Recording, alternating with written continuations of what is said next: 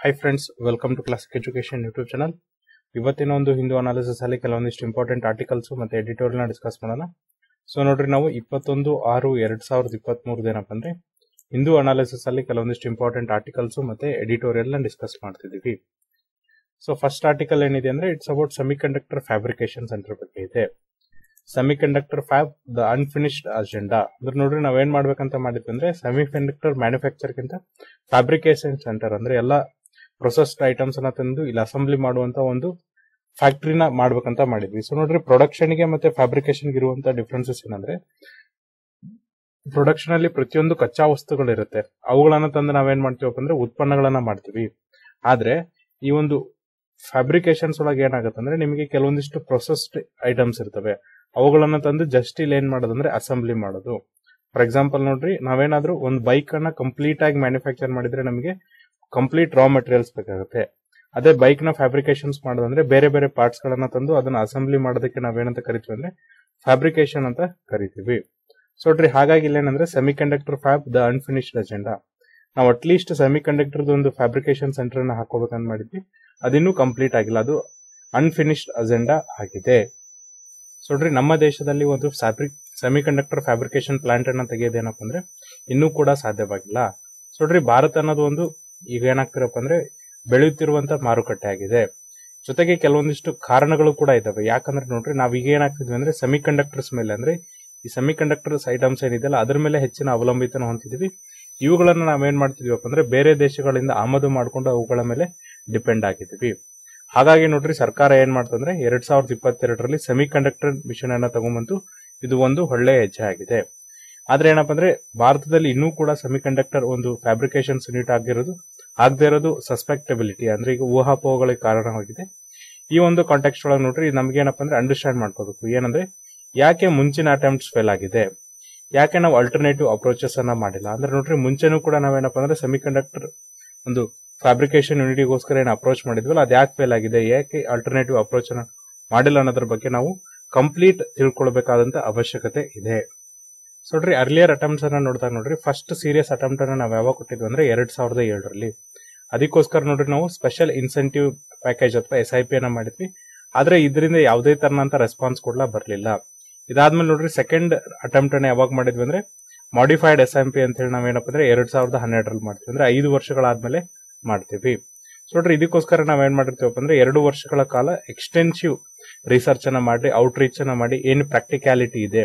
ಅಂದ್ರೆ ಈಗ semi conductor fabrications ಅನ್ನ ತರಬೇಕಾದ್ರೆ ಫ್ಯಾಬ್ ಕಂಪನೀಸ್ ಅಂದ್ರೆ ಫ್ಯಾಬ್ರಿಕೇಶನ್ ಮಾಡುವಂತ ಕಂಪನಿಗಳು ಜಗತ್ತಿನಾದ್ಯಂತ ಪ್ರಾಕ್ಟಿಕಲ್ ಆಗಿ ಏನ್ ಚಾಲೆಂಜ್ ಅನ್ನ ಮಾಡ್ತಾ ಇದೆ, ಅಥವಾ ಏನಲ್ಲಿ ಪ್ರಾಕ್ಟಿಕ್ಯಾಲಿಟಿ ಇದೆ ಅನ್ನೋದ್ರ ಬಗ್ಗೆ ನಾವು ತಿಳ್ಕೊಂಡು ಆಮೇಲೆ ಏನಪ್ಪಾ ಅಂದ್ರೆ ಈ ಒಂದು special modified S I P ಅನ್ನ ಎರಡ್ ಸಾವಿರದ ಹನ್ನೆರಡರಲ್ಲಿ ಜಾರಿಗೆ ಮಾಡಿದ್ವಿ. ಸೊ ಇದರಿಂದ ಏನಾಯ್ತು ಅಂದ್ರೆ ಎರಡು ಕನ್ಸೋರ್ಟಿಯ ಅಂದ್ರೆ ಎರಡು ಕಂಪನಿಗಳು ಇಲ್ಲಿ ಬಂತು. ಸೊ ಇದಕ್ಕೆ ಕ್ಯಾಬಿನೆಟ್ ಅಪ್ರಾಡ್ ಅಪ್ರೂವಲ್ ಕೂಡ ಕೊಡ್ತು. ಜೊತೆಗೆ ನೋಡ್ರಿ ಫಸ್ಟ್ ಯಾವ್ದಪ್ಪ ಅಂದ್ರೆ ಜಯಪ್ರಕಾಶ್ ಅಸೋಸಿಯೇಟ್ ಇವ್ರು ಯಾರ ಜೊತೆಗೆ ಪಾರ್ಟ್ನರ್ಶಿಪ್ ಅನ್ನ ಮಾಡಿದ್ರು ಅಂದ್ರೆ ಐ ಬಿ ಎಂ ಜೊತೆಗೆ ಪಾರ್ಟ್ನರ್ಶಿಪ್ ಅನ್ನ ಮಾಡ್ಕೊಂಡಿದ್ರು. ಎರಡನೇದೇನಪ್ಪ ಅಂದ್ರೆ ಇಸ್ರೇಲಿನ ಟವರ್ ಜಾಜ್ ಕಂಪ್ನಿ ಅನ್ನೋದು ಏನ್ ಮಾಡಿತಪ್ಪ ಅಂದ್ರೆ ಒಂದ್ ಮಾಡ್ಕೊಂಡಿತ್ತು. ಇನ್ನೊಂದು ನೋಡ್ರಿ Hindustan semiconductor manufacturing corporations along with S S T microelectronics ಫಸ್ಟ್ನೇದು ಏನಪ್ಪ ಅಂದ್ರೆ ಜಯಪ್ರಕಾಶ್ ಅಸೋಸಿಯೇಟ್ಸ್ ಇವರು ಐ ಬಿ ಎಂ ಜೊತೆಗೆ ಮತ್ತೆ ಇಸ್ರೇಲಿ ಕಂಪ್ನಿ ಆದಂತ ಟವರ್ ಜಾಜ್ ಕಂಪನಿ ಜೊತೆಗೆ ಏನ್ ಮಾಡಿದ್ರು ಅಂದ್ರೆ ಒಂದಾಗಿ ಕೆಲಸವನ್ನು ಮಾಡಕ್ಕೆ ಫ್ಯಾಬ್ರಿಕೇಶನ್ ಯೂನಿಟ್ನ ತಯಾರು ಮಾಡಕ್ಕೆ ಒಪ್ಪಂದವನ್ನು ಮಾಡ್ಕೊಂಡಿದ್ರು. ಇನ್ನೊಂದು ಬಂದು ನೋಡ್ರಿ, Hindustan semi conductor manufacturing corporation ಇವರು ಎಸ್ ಟಿ ಮೈಕ್ರೋ ಎಲೆಕ್ಟ್ರಾನಿಕ್ಸ್ ಜೊತೆಗೆ ಏನ್ ಮಾಡ್ಕೊಂಡಿದ್ರಪ್ಪ ಅಂದ್ರೆ ಒಪ್ಪಂದವನ್ನ ಮಾಡ್ಕೊಂಡಿದ್ರು. ಈ ಎರಡು ಫ್ಯಾಬ್ರಿಕೇಶನ್ ಯೂನಿಟ್ ಅನ್ನ ಸೆಟಪ್ ಮಾಡಕ್ ನೋಡ್ರಿ, ಒಟ್ಟು ಎಷ್ಟು ಇನ್ವೆಸ್ಟ್ಮೆಂಟ್ ಬೇಕಾಗಿತ್ತು, ಹೂಡಿಕೆ ಬೇಕಾಗಿತ್ತು ಅಂದ್ರೆ ಹತ್ತು ಬಿಲಿಯನ್ ಡಾಲರ್ ಹೂಡಿಕೆ ಬೇಕಾಗಿತ್ತು. ಗವರ್ಮೆಂಟ್ ಕೂಡ ಕೆಲವೊಂದಿಷ್ಟು ಇನ್ವೆಂಟ್ ಇನ್ಸೆಂಟಿವ್ಸ್ನ ಕೊಟ್ಟಿತ್ತು. ಜೊತೆಗೆ ಏನಪ್ಪ ಅಂದ್ರೆ ನಿಯರ್ಲಿ ಅಂದ್ರೆ ಕಡಿಮೆ ಕಡಿಮೆ ಅಂದ್ರೂ ಐದು ಬಿಲಿಯನ್ ಡಾಲರ್ ವರೆಗೂ ಏನಪ್ಪ ಅಂದ್ರೆ ಅವ್ರಿಗೆ ಕೆಲವೊಂದಿಷ್ಟು ಟ್ಯಾಕ್ಸ್ ಕಟ್ ಇರ್ಬೋದು ಕ್ಯಾಶ್ ಇನ್ಸೆಂಟಿವ್ಸ್ ಕೊಡ್ಬೋದು ಇರೋದು ಇದು ಮಾಡಿದ್ರು. ಅಂದ್ರೆ ಹತ್ತು ಬಿಲಿಯನ್ ಡಾಲರ್ ಅಲ್ಲಿ ನೋಡ್ರಿ, ಐದು ಬಿಲಿಯನ್ ಡಾಲರ್ ಹತ್ತತ್ರದವರೆಗೂ ಏನಪ್ಪ ಅಂದ್ರೆ ಸರ್ಕಾರ ಕೆಲವೊಂದಿಷ್ಟು ಟ್ಯಾಕ್ಸ್ ಕಟ್ ಮೂಲಕ ಮತ್ತೆ ಕ್ಯಾಶ್ ಕೊಡೋದ್ರ ಮೂಲಕ ಏನಪ್ಪ ಅಂದ್ರೆ ಇನ್ವೆಸ್ಟ್ಮೆಂಟ್ ಅನ್ನ ತೆಗೆದುಕೊಂಡ್ ಬಂದಿತ್ತು ಜೊತೆಗೆ ನೋಡ್ರಿ ಲೊಕೇಶನ್ಸ್ ಕೂಡ ಫೈನಲೈಸ್ ಮಾಡಿದ್ರು. ಆಮೇಲೆ ಲ್ಯಾಂಡ್ ಕೂಡ ಅಲಾಟ್ ಮಾಡಿದ್ರು. ಅಂದ್ರೆ ಆ ಕಂಪನೀಸ್ ಅನ್ನ ಸೆಟಪ್ ಮಾಡಕ್ಕೆ ಏನ್ ಭೂಮಿ ಬೇಕಾಗತ್ತಲ್ಲ, ಆ ಭೂಮಿಯನ್ನು ಕೊಟ್ಟಿದ್ರು. ಆದ್ರೆ ಎರಡೂ ಕಂಪ್ನಿಗಳು ಕೂಡ ಏನಪ್ಪಾ ಅಂದ್ರೆ ಏನ್ ರಿಸೋರ್ಸ್ ಬೇಕು? ಅಂದ್ರೆ ಸಂಪನ್ಮೂಲಗಳು ಏನ್ ಬೇಕಲ್ಲ? ಆ ಸಂಪನ್ಮೂಲಗಳನ್ನ ಕ್ರೋಢೀಕರಣ ಮಾಡೋದ್ರಲ್ಲಿ ಏನಾಯ್ತು ಅಂದ್ರೆ ಫೇಲ್ ಆಯ್ತು. ಸೆಮಿ ಕಂಡಕ್ಟರ್ ಫ್ಯಾಬ್ರಿಕೇಶನ್ಸ್ ಅನ್ನೋದು ನೋಡ್ರಿ, ಏನನ್ನ ತಿಳಿಸ್ತದಪ್ಪ ಅಂದ್ರೆ ಮಾನವನ ಟೆಕ್ನಿಕಲಿ ಎಷ್ಟು ಅಡ್ವಾನ್ಸ್ಮೆಂಟ್ ಆಗಿದ್ದಾನೆ? ಮಾನವ ನೋಡ್ರಿ, ತಂತ್ರಜ್ಞಾನದಲ್ಲಿ ಎಷ್ಟು ಮುಂದುವರೆದಿದ್ದಾನೆ ಅನ್ನೋದೇನಪ್ಪ ಅಂದ್ರೆ ಸೆಮಿ ಕಂಡಕ್ಟರ್ ಫ್ಯಾಬ್ರಿಕೇಶನ್ಸ್ ನಮಗೆ ತಿಳಿಸುತ್ತೆ. ಅಂದ್ರೆ ಒಂದು ದೇಶದಲ್ಲಿ ಸೆಮಿ ಕಂಡಕ್ಟರ್ ಫ್ಯಾಬ್ರಿಕೇಶನ್ ಯೂನಿಟ್ ಇದೆ ಅಂದ್ರೆ ಆ ದೇಶದ ಮಾನವರು ತಂತ್ರಜ್ಞಾನದಲ್ಲಿ ಎಷ್ಟು ಮುಂದುವರೆದಿದ್ದಾರೆ ಅಂತ ತಿಳಿಸುತ್ತೆ. ಸೊ ನೋಡ್ರಿ ಫ್ರಂಟಿಯರ್ ಪ್ರಕಾರ ಏನಪ್ಪ ಅಂದ್ರೆ ಅಡ್ವಾನ್ಸಿಂಗ್ ಯಾವ ತರ ಆಗುತ್ತೆ ಅಂದ್ರೆ ಮೋರ್ಸ್ ಲಾ ಪ್ರಕಾರ ಆಗುತ್ತೆ. ಸೊ ನೋಡ್ರಿ ಇಲ್ಲಿ ಮೋರ್ಸ್ ಲಾ ಏನ್ ಹೇಳತ್ತಂದ್ರೆ ಒಂದು ಏರಿಯಾದಲ್ಲಿ ಏನ್ ಟ್ರಾನ್ಸಿಷನ್ ಯೂನಿಟ್ ಇರುತ್ತಲ್ಲ, ಅದು ಪ್ರತಿ ಹದಿನೆಂಟು ತಿಂಗಳಿಗೊಮ್ಮೆ ಏನಾಗುತ್ತೆ ಅಂದ್ರೆ ಡಬಲ್ ಆಗುತ್ತೆ ಫಾರ್ ಎಕ್ಸಾಂಪಲ್ ನೋಡ್ರಿ, ಇಲ್ಲೊಂದು semi factory semi conductor factory ಇದ್ರೆ ಅಲ್ಲೇನು ನಿಮಗೆ ನಂಬರ್ ಆಫ್ ಟ್ರಾನ್ಸಿಷನ್ಸ್ ಇರುತ್ತಲ್ಲ ಯೂನಿಟ್ ಅಲ್ಲಿ ಅದು ಏನಾಗುತ್ತೆ ಅಂದ್ರೆ ಡಬಲ್ ಆಗ್ತಾ ಹೋಗುತ್ತೆ ಅಂತ ಹೇಳ್ತಾರೆ. ಆದ್ರೆ ನೋಡ್ರಿ, ಈ ಪ್ರೋಗ್ರೆಸ್ ಏನಿದೆಯಲ್ಲ, ಇದು ಕೂಡ ಏನಪ್ಪ ಅಂದ್ರೆ ತುಂಬಾ ಕಾಂಪ್ಲೆಕ್ಸ್ ಆಗಿದೆ. ಅದಕ್ಕೆ ಇದಕ್ಕೆ ಏನಪ್ಪ ಅಂದ್ರೆ ನಿಮ್ಗೆ ಸೆಮಿ ಕಂಡಕ್ಟರ್ ಫ್ಯಾಬ್ರಿಕೇಶನ್ಸ್ ಮಾಡ್ತೀರ ಅಂದ್ರೆ ಅಲ್ಲಿ ತಂತ್ರಜ್ಞಾನ ಬೇಕು ಸ್ಕಿಲ್ಡ್ ವರ್ಕರ್ಸ್ ಬೇಕು. ಆ ತರದ ಕಾಂಪ್ಲೆಕ್ಸಿಟಿ ಜಾಸ್ತಿ ಇದೆ. ಜೊತೆಗೆ ಏನಪ್ಪ ಅಂದ್ರೆ ಕಾಸ್ಟ್ ಇನ್ವಾಲ್ವ್ಮೆಂಟ್ ಕೂಡ ಜಾಸ್ತಿ ಇದೆ. ಹಾಗಾಗಿ ನೋಡ್ರಿ, ಈ ಎಲ್ಲಾ ಕಾರಣಗಳಿಗೋಸ್ಕರ ಏನಪ್ಪಾ ಅಂದ್ರೆ ಇಂಡಸ್ಟ್ರಿಗೆ ಏನಾಗ್ತಿದೆ ಅಂದ್ರೆ ಡಿಕ್ಲೈನ್ ಆಗ್ತಿದೆ. ಅಂದ್ರೆ ಸೆಮಿ ಕಂಡಕ್ಟರ್ ಫ್ಯಾಬ್ರಿಕೇಶನ್ ಇಂಡಸ್ಟ್ರಿ ಇಂಡಿಯಾದಲ್ಲಿ ಕಂಪ್ಲೀಟ್ ಆಗಿ ಡಿಕ್ಲೈನ್ ಆಗಿದೆ. ಅದೇ ತರ ನೋಡ್ರಿ, ಚೈನಾದ ಎಕ್ಸಾಂಪಲ್ ಅನ್ನ ತೆಗೆದುಕೊಳ್ಳೋದಾದ್ರೆ, ಚೈನಾ ಏನ್ ಮಾಡ್ತಪ್ಪ ಅಂದ್ರೆ ಸೆಮಿ ಕಂಡಕ್ಟರ್ ಫ್ಯಾಬ್ರಿಕೇಶನ್ ಇಂಡಸ್ಟ್ರಿನ ತುಂಬಾ ಲೇಟ್ ಆಗಿ ಸ್ಟಾರ್ಟ್ ಮಾಡ್ತು. ಅದ್ರ ನೋಡ್ರಿ ಇವ್ರು ಏನ್ ಮಾಡಿದ್ರು ಅಂದ್ರೆ ಏನು ಈ semi conductor fabrication unit losses ಇದ್ವಲ್ಲ, ಅವುಗಳನ್ನ ಅಕ್ವೈರ್ ಮಾಡ್ಕೊಂಡ್ರು. ಅದಕ್ಕೋಸ್ಕರ ಏನ್ ಮಾಡ್ತಪ್ಪ ಅಂದ್ರೆ ಗೌರ್ಮೆಂಟ್ ಸಿಕ್ಕಾಪಟ್ಟೆ ಆರ್ಥಿಕವಾಗಿ ಸಪೋರ್ಟ್ ಮಾಡ್ತು. ಅಂದ್ರೆ ಆರ್ಥಿಕವಾಗಿ ಯಾವ ಒಂದು ಫ್ಯಾಬ್ರಿಕೇಶನ್ ಕಂಪನೀಸ್ ನೋಡ್ರಿ ಫೈನಾನ್ಷಿಯಲಿ ದಿವಾಳಿಯಾಗಿರ್ತಾವಲ್ಲ ಆರ್ಥಿಕವಾಗಿ ದಿವಾಳಿಯಾಗಿರ್ತಾವಲ್ಲ ಅಂತ ಕಂಪ್ನಿಗಳನ್ನ ಇವ್ರು ಅಕ್ವೈರ್ ಮಾಡ್ಕೊಳ್ತಾ ಹೋದ್ರು. ಅದಕ್ಕೆ ಏನಪ್ಪ ಅಂದ್ರೆ ಸರ್ಕಾರದ ಸಪೋರ್ಟ್ ಕೂಡ ಸಿಕ್ತು. ಈ ತರದ್ ಏನಪ್ಪ ಅಂದ್ರೆ ನೂರಾರು ಲಾಸ್ ಮೇಕಿಂಗ್ ಫ್ಯಾಬ್ರಿಕೇಶನ್ ಯೂನಿಟ್ಸ್ ಅನ್ನ ಅವ್ರು ಅಕ್ವೈರ್ ಮಾಡ್ಕೊಂತ ಹೋದ್ರು. ಅದಾದ್ಮೇಲೆ ಅವ್ರದೇ ಒಂದು ಫ್ಯಾಬ್ರಿಕೇಶನ್ ಇಂಡಸ್ಟ್ರಿ ಕೂಡ ಬಿಲ್ಡ್ ಮಾಡಿದ್ರು. ಇದ್ರ ಜೊತೆಗೆ ನೋಡ್ರಿ ಅಲ್ಲಿರುವಂತ ಕಡಿಮೆ ಉತ್ಪಾದನೆ ದರ ಇರ್ಬೋದು. ಜೊತೆಗೆ ಏನಪ್ಪಾ ಅಂದ್ರೆ, ಆ ದೇಶದಲ್ಲಿ ನೋಡ್ರಿ ಹೆಚ್ಚಿನ ಎಲೆಕ್ಟ್ರಾನಿಕ್ಸ್ ಮ್ಯಾನುಫ್ಯಾಕ್ಚರಿಂಗ್ ಆಗದ. ಅಂದ್ರೆ ಈಗ ಒಂದು ಸ್ಟೋವ್ ಈಗ ಎಲೆಕ್ಟ್ರಾನಿಕ್ ಸ್ಟೋವ್ ಇಂದ ಹಿಡ್ಕೊಂಡು ಮೊಬೈಲ್ ಇಂದ ಹಿಡ್ಕೊಂಡು ಪ್ರತಿಯೊಂದರಲ್ಲೂ ಸೆಮಿ ಕಂಡಕ್ಟರ್ ಏನ್ ಬೇಕಲ್ಲ? ಚೈನಾ ಯಾವ್ದಕ್ ಫೇಮಸ್ ಅಪ್ಪ ಅಂದ್ರೆ ನೋಡ್ರಿ ಎಲೆಕ್ಟ್ರಾನಿಕ್ಸ್ ಅನ್ನ ಚೀಪ್ ರೇಟ್ ಅಲ್ಲಿ ಅವ್ರ ಏನಪ್ಪಾ ಅಂದ್ರೆ ಉತ್ಪಾದನೆ ಮಾಡಕ್ಕೆ. ಅಂದ್ರೆ ಯಾವುದೇ ಐಟಮ್ಸ್ ಇರ್ಬೋದು. ಚೈನಾದಲ್ಲಿ ಏನಪ್ಪಾ ಅಂದ್ರೆ ತುಂಬಾ ಕಡಿಮೆ ದರದಲ್ಲಿ ಉತ್ಪಾದನೆ ಆಗುತ್ತೆ. ಅದಕ್ಕೆ ನೋಡ್ರಿ ನಮ್ಮಲ್ಲಿ ತುಂಬಾ ಕಳಪೆ ಮಾಲ್ ಇದ್ರೆ ಅದನ್ನ ಚೈನಾ ಮಾಲ್ ಅಂತ ಕರೀತಾರೆ. ಅಂದ್ರೆ ಅಲ್ಲಿ ತುಂಬಾ ಕಡಿಮೆ ದರಕ್ಕೇನೋ ಮ್ಯಾನುಫ್ಯಾಕ್ಚರ್ ಆಗುತ್ತೆ ಬಟ್ ಅದು ಕ್ವಾಲಿಟಿ ಇರಲ್ಲ. ಆದ್ರೆ ಇಲ್ಲಿ ಮ್ಯಾನುಫ್ಯಾಕ್ಚರಿಂಗ್ ಜಾಸ್ತಿ ಇರೋದ್ರಿಂದ, ಹೆಚ್ಚಿನ ಒಂದು ಉತ್ಪಾದನೆ ಮಾಡೋದ್ರಿಂದ ನೋಡ್ರಿ ಫ್ಯಾಬ್ರಿಕೇಶನ್ ಯೂನಿಟ್ ಅಲ್ಲಿ ಏನಾಯ್ತಪ್ಪ ಅಂದ್ರೆ ಸಸ್ಟೈನಬಲ್ ಆಯ್ತು. ಆಮೇಲೆ ನೋಡ್ರಿ ಚೈನಾದ ಚಿಪ್ ಪ್ರೊಡಕ್ಷನ್ಸ್ ಕೂಡ ಏನಪ್ಪ ಅಂದ್ರೆ ತುಂಬಾ ತ್ವರಿತವಾಗಿ ಏನಾಯ್ತಂದ್ರೆ ಪ್ರೋಗ್ರೆಸ್ ಅನ್ನ ಕಾಣ್ತು ಅಥವಾ ಪ್ರಗತಿಯನ್ನ ಕಾಣ್ತು ಈ ಟೈಮಿಂಗ್ ನೋಡ್ರಿ, ಅದರ ಟ್ರೆಡಿಷನಲ್ ಅಂದ್ರೆ ಪಾರಂಪರಿಕ ಲೀಡರ್ ಆದಂತ, ಯಾವುದು? ಸೆಮಿ ಕಂಡಕ್ಟರ್ ಚಿಪ್ನ ಪಾರಂಪರಿಕ ನಾಯಕನಾದಂತ ಯು ಎಸ್ ಏನ್ ಮಾಡ್ತಂದ್ರೆ, ಈ ಒಂದು ಗೇಮ್ ಅನ್ನ ರಿಲೈಸ್ ಮಾಡ್ತು. ಆದ್ರೆ ಆ ಟೈಮಿಗೆ ಏನಪ್ಪ ಅಂದ್ರೆ ಚೈನಾ ಆಲ್ರೆಡಿ ಏನಾಗಿತ್ತಪ್ಪ ಅಂದ್ರೆ ಜಗತ್ತಿನಲ್ಲಿ ಅತಿ ಹೆಚ್ಚು ಚಿಪ್ ಅನ್ನ ಪ್ರೊಡ್ಯೂಸ್ ಮಾಡುವಂತ ದೇಶವಾಗಿತ್ತು. ಇದ್ರ ಜೊತೆಗೆ ನೋಡ್ರಿ ಅದರ ಮಾರ್ಕೆಟ್ ಸುಪ್ರಿಮೈನ್ಸಿ ಇರ್ಬೋದು. ಯಾವ್ದ್ರೊಳಗಪ್ಪ ಅಂದ್ರೆ ಈಗೇನ್ ರೇರ್ ಅರ್ತ್ ಬೇಕಂದ್ರೆ ಈಗ ನೋಡ್ರಿ, ನೀವು ಚಿಪ್ ಅನ್ನ ಪ್ರೊಡಕ್ಷನ್ ಮಾಡ್ಬೇಕಂದ್ರೆ ಕೆಲವೊಂದಿಷ್ಟು ರೇರ್ ಅರ್ತ್ ಮೆಟೀರಿಯಲ್ಸ್ ಬೇಕಾಗುತ್ತೆ. ಅವುಗಳದಿರ್ಬೋದು. ಜೊತೆಗೆ ಏನಪ್ಪ ಅಂದ್ರೆ ಚಿಪ್ ಪ್ರೊಡಕ್ಷನ್ಸ್ ಜಾಸ್ತಿ ಮಾಡೋದಿರ್ಬೋದು. ಜೊತೆಗೇನಂದ್ರೆ ಈ ಚಿಪ್ ಮೇಕಿಂಗ್ ಅಲ್ಲಿ ಅವ್ರದೇ ಆದಂತ ತಂತ್ರಜ್ಞಾನ ಇರ್ಬೋದು. ಇದರಿಂದ ಏನಾಯ್ತು ಅಂದ್ರೆ ಚೈನಾ ಸಸ್ಟೈನೇಬಲ್ ಆಯ್ತು. ಅಂದ್ರೆ ಫಸ್ಟ್ ಅವ್ರ ಹತ್ರ ಏನಪ್ಪ ಅಂದ್ರೆ ರೇರ್ ಅರ್ತ್ ಮೆಟೀರಿಯಲ್ಸ್ ಎಲ್ಲಿ ಸಿಗ್ಬೇಕಲ್ಲ ಆ ರಿಸೋರ್ಸ್ ಅನ್ನ ಹಿಡಿದಿಟ್ಕೊಂಡಿದ್ರು. ಎರಡನೇದಾಗಿ ನೋಡ್ರಿ ಅವ್ರಿಗೆ ಚಿಪ್ ಪ್ರೊಡಕ್ಷನ್ ತಂತ್ರಜ್ಞಾನ ಇತ್ತು. ಜೊತೆಗೆ ಏನಪ್ಪ ಅಂದ್ರೆ ಚಿಪ್ ಮೇಕಿಂಗ್ ಅನ್ನ ಅವ್ರು ಏನಪ್ಪ ಅಂದ್ರೆ ತುಂಬಾ ನೀಟಾಗಿ ಮಾಡ್ತಾ ಇದ್ರು. ಇದರಿಂದ ಅವರ ಚಿಪ್ ಉತ್ಪಾದನೆ ಜಾಸ್ತಿ ಆಗ್ತಾ ಹೋಯ್ತು. ಜೊತೆಗೆ ನೋಡ್ರಿ ಕಳೆದ ಒಂದು ವರ್ಷದಿಂದ ಏನಪ್ಪ ಅಂದ್ರೆ ಯು ಎಸ್ ಮತ್ತೆ ಪಶ್ಚಿಮದ ಅಲಾಯಿ ದೇಶಗಳು ಏನ್ ಮಾಡ್ತಾ ಇದಾವೆ ಅಂದ್ರೆ ಈಗ ಹೊಸ ಹೊಸ ಏನು ಫ್ಯಾಬ್ ರಿಲೇಟೆಡ್ ಟೆಕ್ನಾಲಜಿ ಇದೆ. ಅಂದ್ರೆ ಹೊಸದಾಗಿ ಏನಾದ್ರೂ ಈ ಸೆಮಿ ಕಂಡಕ್ಟರ್ ಫ್ಯಾಬ್ರಿಕೇಶನ್ ತಂತ್ರಜ್ಞಾನ ಇದ್ರೆ ಅದನ್ನ ಚೈನಾಗೆ ಟ್ರಾನ್ಸ್ಫರ್ ಮಾಡ್ತಾ ಇಲ್ಲ. ನೋಡ್ರಿ ಇದು ಯಾವ ತರನಾಗಿ ಅಂದ್ರೆ ಈಗ ಆಲ್ರೆಡಿ ಒಂದು ಸ್ಟೇಬಲ್ ಇರುವಂತ ಗೋಡೆಗೆ ಮತ್ತೊಂದು ಡೋರ್ ಕೂಡಿಸುವಂತದ್ದು ಅಂದ್ರೆ ಈಗ ಆಲ್ರೆಡಿ ಅಲ್ಲಿ ಒಂದು ಸ್ಟೇಬಲ್ ಹಾಕಿದೆ ಆ ಸ್ಟೇಬಲ್ ಇರುವಂತ ಏನ್ ಮಾಡೋದಪ್ಪ ಅಂದ್ರೆ ಅಲ್ಲಿರುವಂತ ಬಾಕ್ಲನ್ನ ಹಾಕೋದು. ಇದರಿಂದ ಯಾವುದೇ ತರನಾದಂತ ಪ್ರಯೋಜನ ಇಲ್ಲ. ಯಾಕಂದ್ರೆ ಆಲ್ರೆಡಿ ಸ್ಟೇಬಲ್ ಇರುವಂತದಕ್ಕೆ ನೀವು ಬಾಗಿಲು ಕೂಡಿಸಿದ್ರೇನು ಬಿಟ್ರೆ ಅಲ್ಲಿ ಏನಂದ್ರೆ ಪ್ರಯೋಜನವಾಗೋದಿಲ್ಲ. ಇದ್ರ ಜೊತೆಗೆ ನೋಡ್ರಿ ಯು ಎಸ್ ಅವ್ರು ಏನ್ ಮಾಡಿದ್ರು ಅಂದ್ರೆ ಅವರ ಚಿಪ್ ಅಂಡ್ ಸೈನ್ಸ್ ಆಕ್ಟ್ ಅನ್ನ ಎರಡ್ ಸಾವಿರದ ಇಪ್ಪತ್ತೆರಡರಲ್ಲಿ ಜಾರಿಗೆ ತಂದಿದ್ದಾರೆ. ಇದರಿಂದ ಏನಪ್ಪಾ ಅಂದ್ರೆ ನಲವತ್ತು ಬಿಲಿಯನ್ ಡಾಲರ್ ಅಷ್ಟು ನಾವು ಸಬ್ಸಿಡೀಸ್ ಅನ್ನ ಕೊಡ್ತೀವಿ ಅಂತ ಹೇಳಿದ್ದಾರೆ. ಇದರಿಂದ ನೋಡ್ರಿ, ಏನ್ ಚೈನಾದಲ್ಲಿ ಸೆಮಿ ಕಂಡಕ್ಟರ್ ಮ್ಯಾನುಫ್ಯಾಕ್ಚರಿಂಗ್ ಯೂನಿಟ್ಸ್ ಇದಾವಲ್ಲ ಅವನ್ನ ಮತ್ತೆ ಅವ್ರು ಏನ್ ಮಾಡ್ತಿದ್ದಾರೆ ಅಂದ್ರೆ ಯು ಎಸ್ಗೆ ಕರಿತಾ ಇದ್ದಾರೆ. ಅದೇ ತರನಾಗಿ ಏನಪ್ಪಾ ಅಂದ್ರೆ ಯುರೋಪಿಯನ್ ಯೂನಿಯನ್ ಕೂಡ ಏನ್ ಮಾಡಿದೆ ಅಂದ್ರೆ ಹೊಸದಾಗಿ ಏನಾದ್ರೂ ನೀವು ಸೆಮಿ ಕಂಡಕ್ಟರ್ ಫ್ಯಾಬ್ರಿಕೇಶನ್ಸ್ನ ಮಾಡ್ತೀನಿ ಅಂದ್ರೆ seven point four billion dollar ಅಷ್ಟು ಏನ್ ಮಾಡ್ತಿದೆ ಅಂದ್ರೆ ನಿಮಗೆ ಸಬ್ಸಿಡೀಸ್ ಅನ್ನ ಕೊಡ್ತಾ ಇದ್ದಾರೆ. ಇದ್ರ ಜೊತೆಗೆ ನೋಡ್ರಿ ಇಂಡಿಯಾ ಕೂಡ ಏನ್ ಮಾಡ್ತಿದೆ ಅಂದ್ರೆ ಬೇರೆ ಬೇರೆ ದೇಶಗಳ ಜೊತೆಗೆ ಏನಪ್ಪಾ ಅಂದ್ರೆ ಸೈನ್ ಅಪ್ ಅನ್ನ ಮಾಡ್ಕೊಂತಿದ್ದಾರೆ. ನಾವು ಸೆಮಿ ಕಂಡಕ್ಟರ್ ಮಿಷನ್ಸ್ಗೋಸ್ಕರ ನೋಡ್ರಿ ಇಪ್ಪತ್ತು ಸಾವಿರ ಕೋಟಿ ಹಣವನ್ನ ತೆಗೆದಿಟ್ಟಿದ್ದೀವಿ. ಜೊತೆಗೆ ಏನಪ್ಪಾ ಅಂದ್ರೆ ಇವುಗಳು ಏನಾಗ್ತಿದೆ ಅಂದ್ರೆ ಈಗ ಸೆಮಿ ಕಂಡಕ್ಟರ್ ವಾರ್ ಆಗಿ ಬೇರೆ ಬೇರೆ ದೇಶಗಳ ಮಧ್ಯೆ ಯುದ್ಧ ಆಗ್ತಿದೆ. ಅಂದ್ರೆ ನೋಡ್ರಿ ಯು ಎಸ್ ಕೂಡ ಸೆಮಿ ಕಂಡಕ್ಟರ್ ಉತ್ಪಾದನೆ ಮಾಡ್ಬೇಕನ್ನತ್ತೆ ಯುರೋಪಿಯನ್ ಯೂನಿಯನ್ ಕೂಡ ಸ್ಯಾಂಕ್ಷನ್ಸ್ ಅನ್ನ ಮಾಡ್ತಾ ಇದೆ. ಜೊತೆಗೆ ಭಾರತನೂ ಕೂಡ ಏನಪ್ಪಾ ಅಂದ್ರೆ ಈ ಒಂದು ಸೆಮಿ ಕಂಡಕ್ಟರ್ ಉತ್ಪಾದನೆ ಮಾಡ್ಬೇಕನ್ನೋದ್ರಿಂದ ಎಲ್ಲರೂ ಮಧ್ಯೆ ಇದೇನಪ್ಪ ಅಂದ್ರೆ ಸೆಮಿ ಕಂಡಕ್ಟರ್ ಉತ್ಪಾದನೆ ಅನ್ನೋದು ಒಂದು ವಿವಾದ ಆಗಿದೆ. ಜೊತೆಗೆ ಏನಪ್ಪ ಅಂದ್ರೆ ಇದು ವಾರ್ ಚಿಪ್ ಚಿಪ್ ವಾರ್ಫೇರ್ ಆಗಿದೆ. ಅಂದ್ರೆ ಯಾರು ಎಷ್ಟು ಚೆನ್ನಾಗಿ ಉತ್ಪಾದನೆ ಮಾಡ್ತಾರೆ ಅನ್ನೋ ಒಂದು ಯುದ್ಧಕ್ಕೆ ಈಗ ಎಲ್ಲಾ ದೇಶಗಳು ಇಳಿದಂಗೆ ಆಗಿದೆ. ಈಗ ನೋಡ್ರಿ ಸೆಮಿ ಕಂಡಕ್ಟರ್ ಅಲ್ಲಿ ಹೂಡಿಕೆಯನ್ನ ಮಾಡ್ತೀವಿ ಅಂದ್ರೆ ಅದು ತುಂಬಾ ರಿಸ್ಕಿ ಆದಂತ ಜಾಬ್ ಆಗಿದೆ. ಯಾಕಂದ್ರೆ ನಾವು ಈ ತಂತ್ರಜ್ಞಾನ ಸ್ಟೇಬಲ್ ಆಗೋದಕ್ಕಿಂತ ಮುಂಚೆ ಏನಪ್ಪ ಅಂದ್ರೆ ಇದು ನಮಗೆ ಲಾಭವನ್ನ ತರೋದಕ್ಕಿಂತ ಮುಂಚೆ ನೋಡ್ರಿ ಬಿಲಿಯನ್ಸ್ ಆಫ್ ಡಾಲರ್ ಅನ್ನ ನಾವ್ ಏನ್ ಮಾಡ್ಬೇಕಾಗತ್ತೆ ಅಂದ್ರೆ ಇನ್ವೆಸ್ಟ್ಮೆಂಟ್ ಅನ್ನ ಮಾಡ್ಬೇಕಾಗತ್ತೆ. ಜೊತೆಗೆ ನೋಡ್ರಿ, ಈ ಸಬ್ಸ್ಟಾನ್ಶಿಯಲ್ ಪ್ರೊಡಕ್ಷನ್ ಏನ್ ಮಾಡ್ತಾ ಹೋಗ್ತೇವೆ ಅಂದ್ರೆ ಇದ್ರ ಉತ್ಪಾದನೆ ಏನ್ ಮಾಡ್ತಾ ಹೋಗ್ತೀವಲ್ಲ ಅದ್ರ ತಕ್ತಾದಂತದ ಏನಪ್ಪ ಅಂದ್ರೆ ಎಕನಾಮಿಕಲ್ ವಯಾಬಿಲಿಟೀಸ್ ಇರಬೇಕು. ಅಂದ್ರೆ ಅಲ್ಲಿ ಬೇರೆ ಮ್ಯಾನುಫ್ಯಾಕ್ಚರಿಂಗ್ ಆಗ್ತಾ ಇರಬೇಕು. ಕೇವಲ ಚಿಪ್ ಪ್ರೊಡಕ್ಷನ್ ಅಲ್ಲ, ಬದಲಾಗಿ ಅಲ್ಲಿ ಎಲೆಕ್ಟ್ರಾನಿಕ್ ಡಿವೈಸ್ ಮ್ಯಾನುಫ್ಯಾಕ್ಚರಿಂಗ್ ಇರ್ಬೋದು. ಈ ತರದ ಎಕನಾಮಿಕಲ್ ವಯಾಬಿಲಿಟಿ ಇದ್ರೆ ಮಾತ್ರ ಅದು ಸಾಧ್ಯ ಆಗುತ್ತೆ. ಇದ್ರ ಜೊತೆಗೆ ನೋಡ್ರಿ, ಜಾಗತಿಕದ ಡಿಮ್ಯಾಂಡ್ ಏನಿದೆ ಅಂದ್ರೆ, ಜಾಗತಿಕವಾಗಿ ಇದಕ್ಕೆ ಏನ್ ಬೇಡಿಕೆ ಇದೆಯಲ್ಲ, ಆ ಬೇಡಿಕೆಯನ್ನು ಕೂಡ ಇದು ಪೂರೈಕೆ ಮಾಡುವ ಹಂತದಲ್ಲಿ ಇರಬೇಕು. ಹಾಗಾಗಿ ನೋಡ್ರಿ, ಈ ಒಂದು ಫ್ಯಾಬ್ರಿಕೇಶನ್ ಯೂನಿಟ್ ಅನ್ನ ನಾವು ಕೇವಲ ಏನಪ್ಪಾ ಅಂದ್ರೆ ಡೊಮೆಸ್ಟಿಕ್ ಮಾರುಕಟ್ಟೆಗೋಸ್ಕರ ಮಾಡ್ತೀವಿ ಅನ್ನೋದು ತುಂಬಾ ಹುಚ್ಚುತನ. ಅಂದ್ರೆ ಇನ್ನೊಂದು ಫ್ಯಾಬ್ರಿಕೇಶನ್ ಯೂನಿಟ್ ಇಟ್ಕೊಂಡು ನಾವು ಭಾರತದ ಡೊಮೆಸ್ಟಿಕ್ ಮಾರುಕಟ್ಟೆ ಏನಿದೆ ಅದಕ್ಕೆ ಮಾತ್ರ ಸರ್ವ್ ಮಾಡ್ತೀವಿ ಅನ್ನೋದು ತುಂಬಾ ಹುಚ್ಚುತನ ಆಗುತ್ತೆ. ಆದ್ರೆ ನೋಡ್ರಿ ಸೆಮಿ ಕಂಡಕ್ಟರ್ ಉತ್ಪಾದನೆ ಮಾಡೋದು ಏನ್ ಕೆಲವೊಂದಿಷ್ಟು ಅಡ್ವಾಂಟೇಜ್ ಇದೆ ಅಂದ್ರೆ, ಇಲ್ಲಿ ಝೀರೋ ಕಸ್ಟಮ್ ಡ್ಯೂಟಿ ಇದೆ. ಯಾವುದಕ್ಕೋಸ್ಕರಪ್ಪ ಅಂದ್ರೆ information technology agreement nineteen nineteen six six ಪ್ರಕಾರ ಏನಪ್ಪ ಅಂದ್ರೆ ಸ್ಮಾಲ್ ಫ್ರೈ ಟು ಪ್ರೈಸ್ ಅಂದ್ರೆ ಅತಿ ಚಿಕ್ಕದಾಗಿರೋದ್ರಿಂದ ನೋಡ್ರಿ, ಇಲ್ಲಿ ಪ್ರೈಸ್ ಏನಾಗುತ್ತೆ ಅಂದ್ರೆ ತುಂಬಾ ಕಮ್ಮಿ ಇರುತ್ತೆ. ಹಾಗಾಗಿ ಇದ್ರ ಮೇಲೆ ಏನಾಗ್ತೀವಿ ಅಂದ್ರೆ ನಾವು ಜೀರೋ ಕಸ್ಟಮ್ ಡ್ಯೂಟಿಯನ್ನ ಹಾಕ್ತಿವಿ. ಅಂದ್ರೆ ಈಗ ಬೇರೆ ಕಡೆಯಿಂದ ಉತ್ಪಾದನೆ ಮಾಡಿದ್ರೆ ಅಲ್ಲಿ ಏನಾಗ್ತೀವಿ ಅಂದ್ರೆ ಜೀರೋ ಕಸ್ಟಮ್ ಡ್ಯೂಟಿಯನ್ನ ಹಾಕ್ತಿವಿ. ಹಾಗಾಗಿ ನೋಡ್ರಿ, ಆ ಕಸ್ಟಮ್ ಡ್ಯೂಟಿಯನ್ನ ಉಳಿಸೋದ್ರ ಜೊತೆಗೆ ಹೊಸದಾಗಿ ನಮ್ಮ ಡೊಮೆಸ್ಟಿಕ್ ಅಲ್ಲೂ ಕೂಡ ಇದು ಕಮ್ಮಿ ಆಗ್ಬೇಕಂದ್ರೆ ನಾವು ಉತ್ಪಾದನೆ ಮಾಡಬೇಕು. ಇದ್ರ ಜೊತೆಗೆ ಏನಪ್ಪ ಅಂದ್ರೆ ಬಹಳ ಕಂಪನೀಸ್ ಏನ್ ಮಾಡ್ಬೇಕಂತ ಹೇಳಿದಾರೆ ಅಂದ್ರೆ ಈ ತರದ ಪ್ರೊಡಕ್ಷನ್ಸ್ನ ನೋಡ್ರಿ ಒಂದೇ ಲೊಕೇಶನ್ಸ್ ಅಲ್ಲಿ ಮಾಡಬೇಕು, ಅದು ಮತ್ತೆ ಜಾಗತಿಕವಾಗಿ ಸೇಲ್ ಆಗ್ಬೇಕು. ಅಂದ್ರೆ ನೀವು ಒಂದು ಲೊಕೇಶನ್ ಅಲ್ಲಿ ಇದು ಉತ್ಪಾದನೆ ಮಾಡಿದ್ರೆ ಅದು ಜಗತ್ತಿನಾದ್ಯಂತ ಸೇಲ್ ಆಗ್ತಿರ್ಬೇಕು. ಆ ತರನಾಗಿ ಕಂಪ್ನೀಸ್ ಈಗ ಇಂಟ್ರೆಸ್ಟ್ ಅನ್ನ ತೋರಿಸಿದೆ. ಇದಕ್ಕೆ ನಾವೇನಂತ ಕರಿತೀವಿ ಅಂದ್ರೆ ಗ್ರೀನ್ ಫೀಲ್ಡ್ ಫ್ಯಾಬ್ ಅಂತ ಕರಿತೀವಿ. ಅಂದ್ರೆ ಒಂದೇ ಕಂಪ್ನಿ ಏನ್ ಮಾಡತ್ತಪ್ಪ ಅಂದ್ರೆ ಒಂದು ಲೊಕೇಶನ್ಸ್ ಅಲ್ಲಿ ಸೆಮಿಕಂಡಕ್ಟರ್ ಉತ್ಪಾದನೆ ಮಾಡಿ ಜಗತ್ತಿನಾದ್ಯಂತ ಸೇಲ್ ಮಾಡೋದಕ್ಕೆ ನಾವೇನಂತ ಕರಿತೀವಿ ಅಂದ್ರೆ ಗ್ರೀನ್ ಫೀಲ್ಡ್ ಫ್ಯಾಬ್ರಿಕೇಶನ್ ಅಂತ ಕರಿತೀವಿ. ಜೊತೆಗೆ ನೋಡ್ರಿ ಈಗ ನಾವು ಎಕೋಸಿಸ್ಟಮ್ ಅನ್ನ ಡೆವಲಪ್ ಮಾಡ್ಬೇಕಾದ್ರೆ ಎಸ್ಪೆಷಲಿ ಏನಪ್ಪ ಅಂದ್ರೆ ಗ್ರೀನ್ ಫೀಲ್ಡ್ ಫ್ಯಾಬ್ರಿಕೇಶನ್ ಎಕೋಸಿಸ್ಟಮ್ ಅನ್ನು ಡೆವಲಪ್ ಮಾಡ್ಬೇಕಾದ್ರೆ ಅದು ನಮ್ಗೆ ದೊಡ್ಡ ಸಮಸ್ಯೆ ಆಗುತ್ತೆ.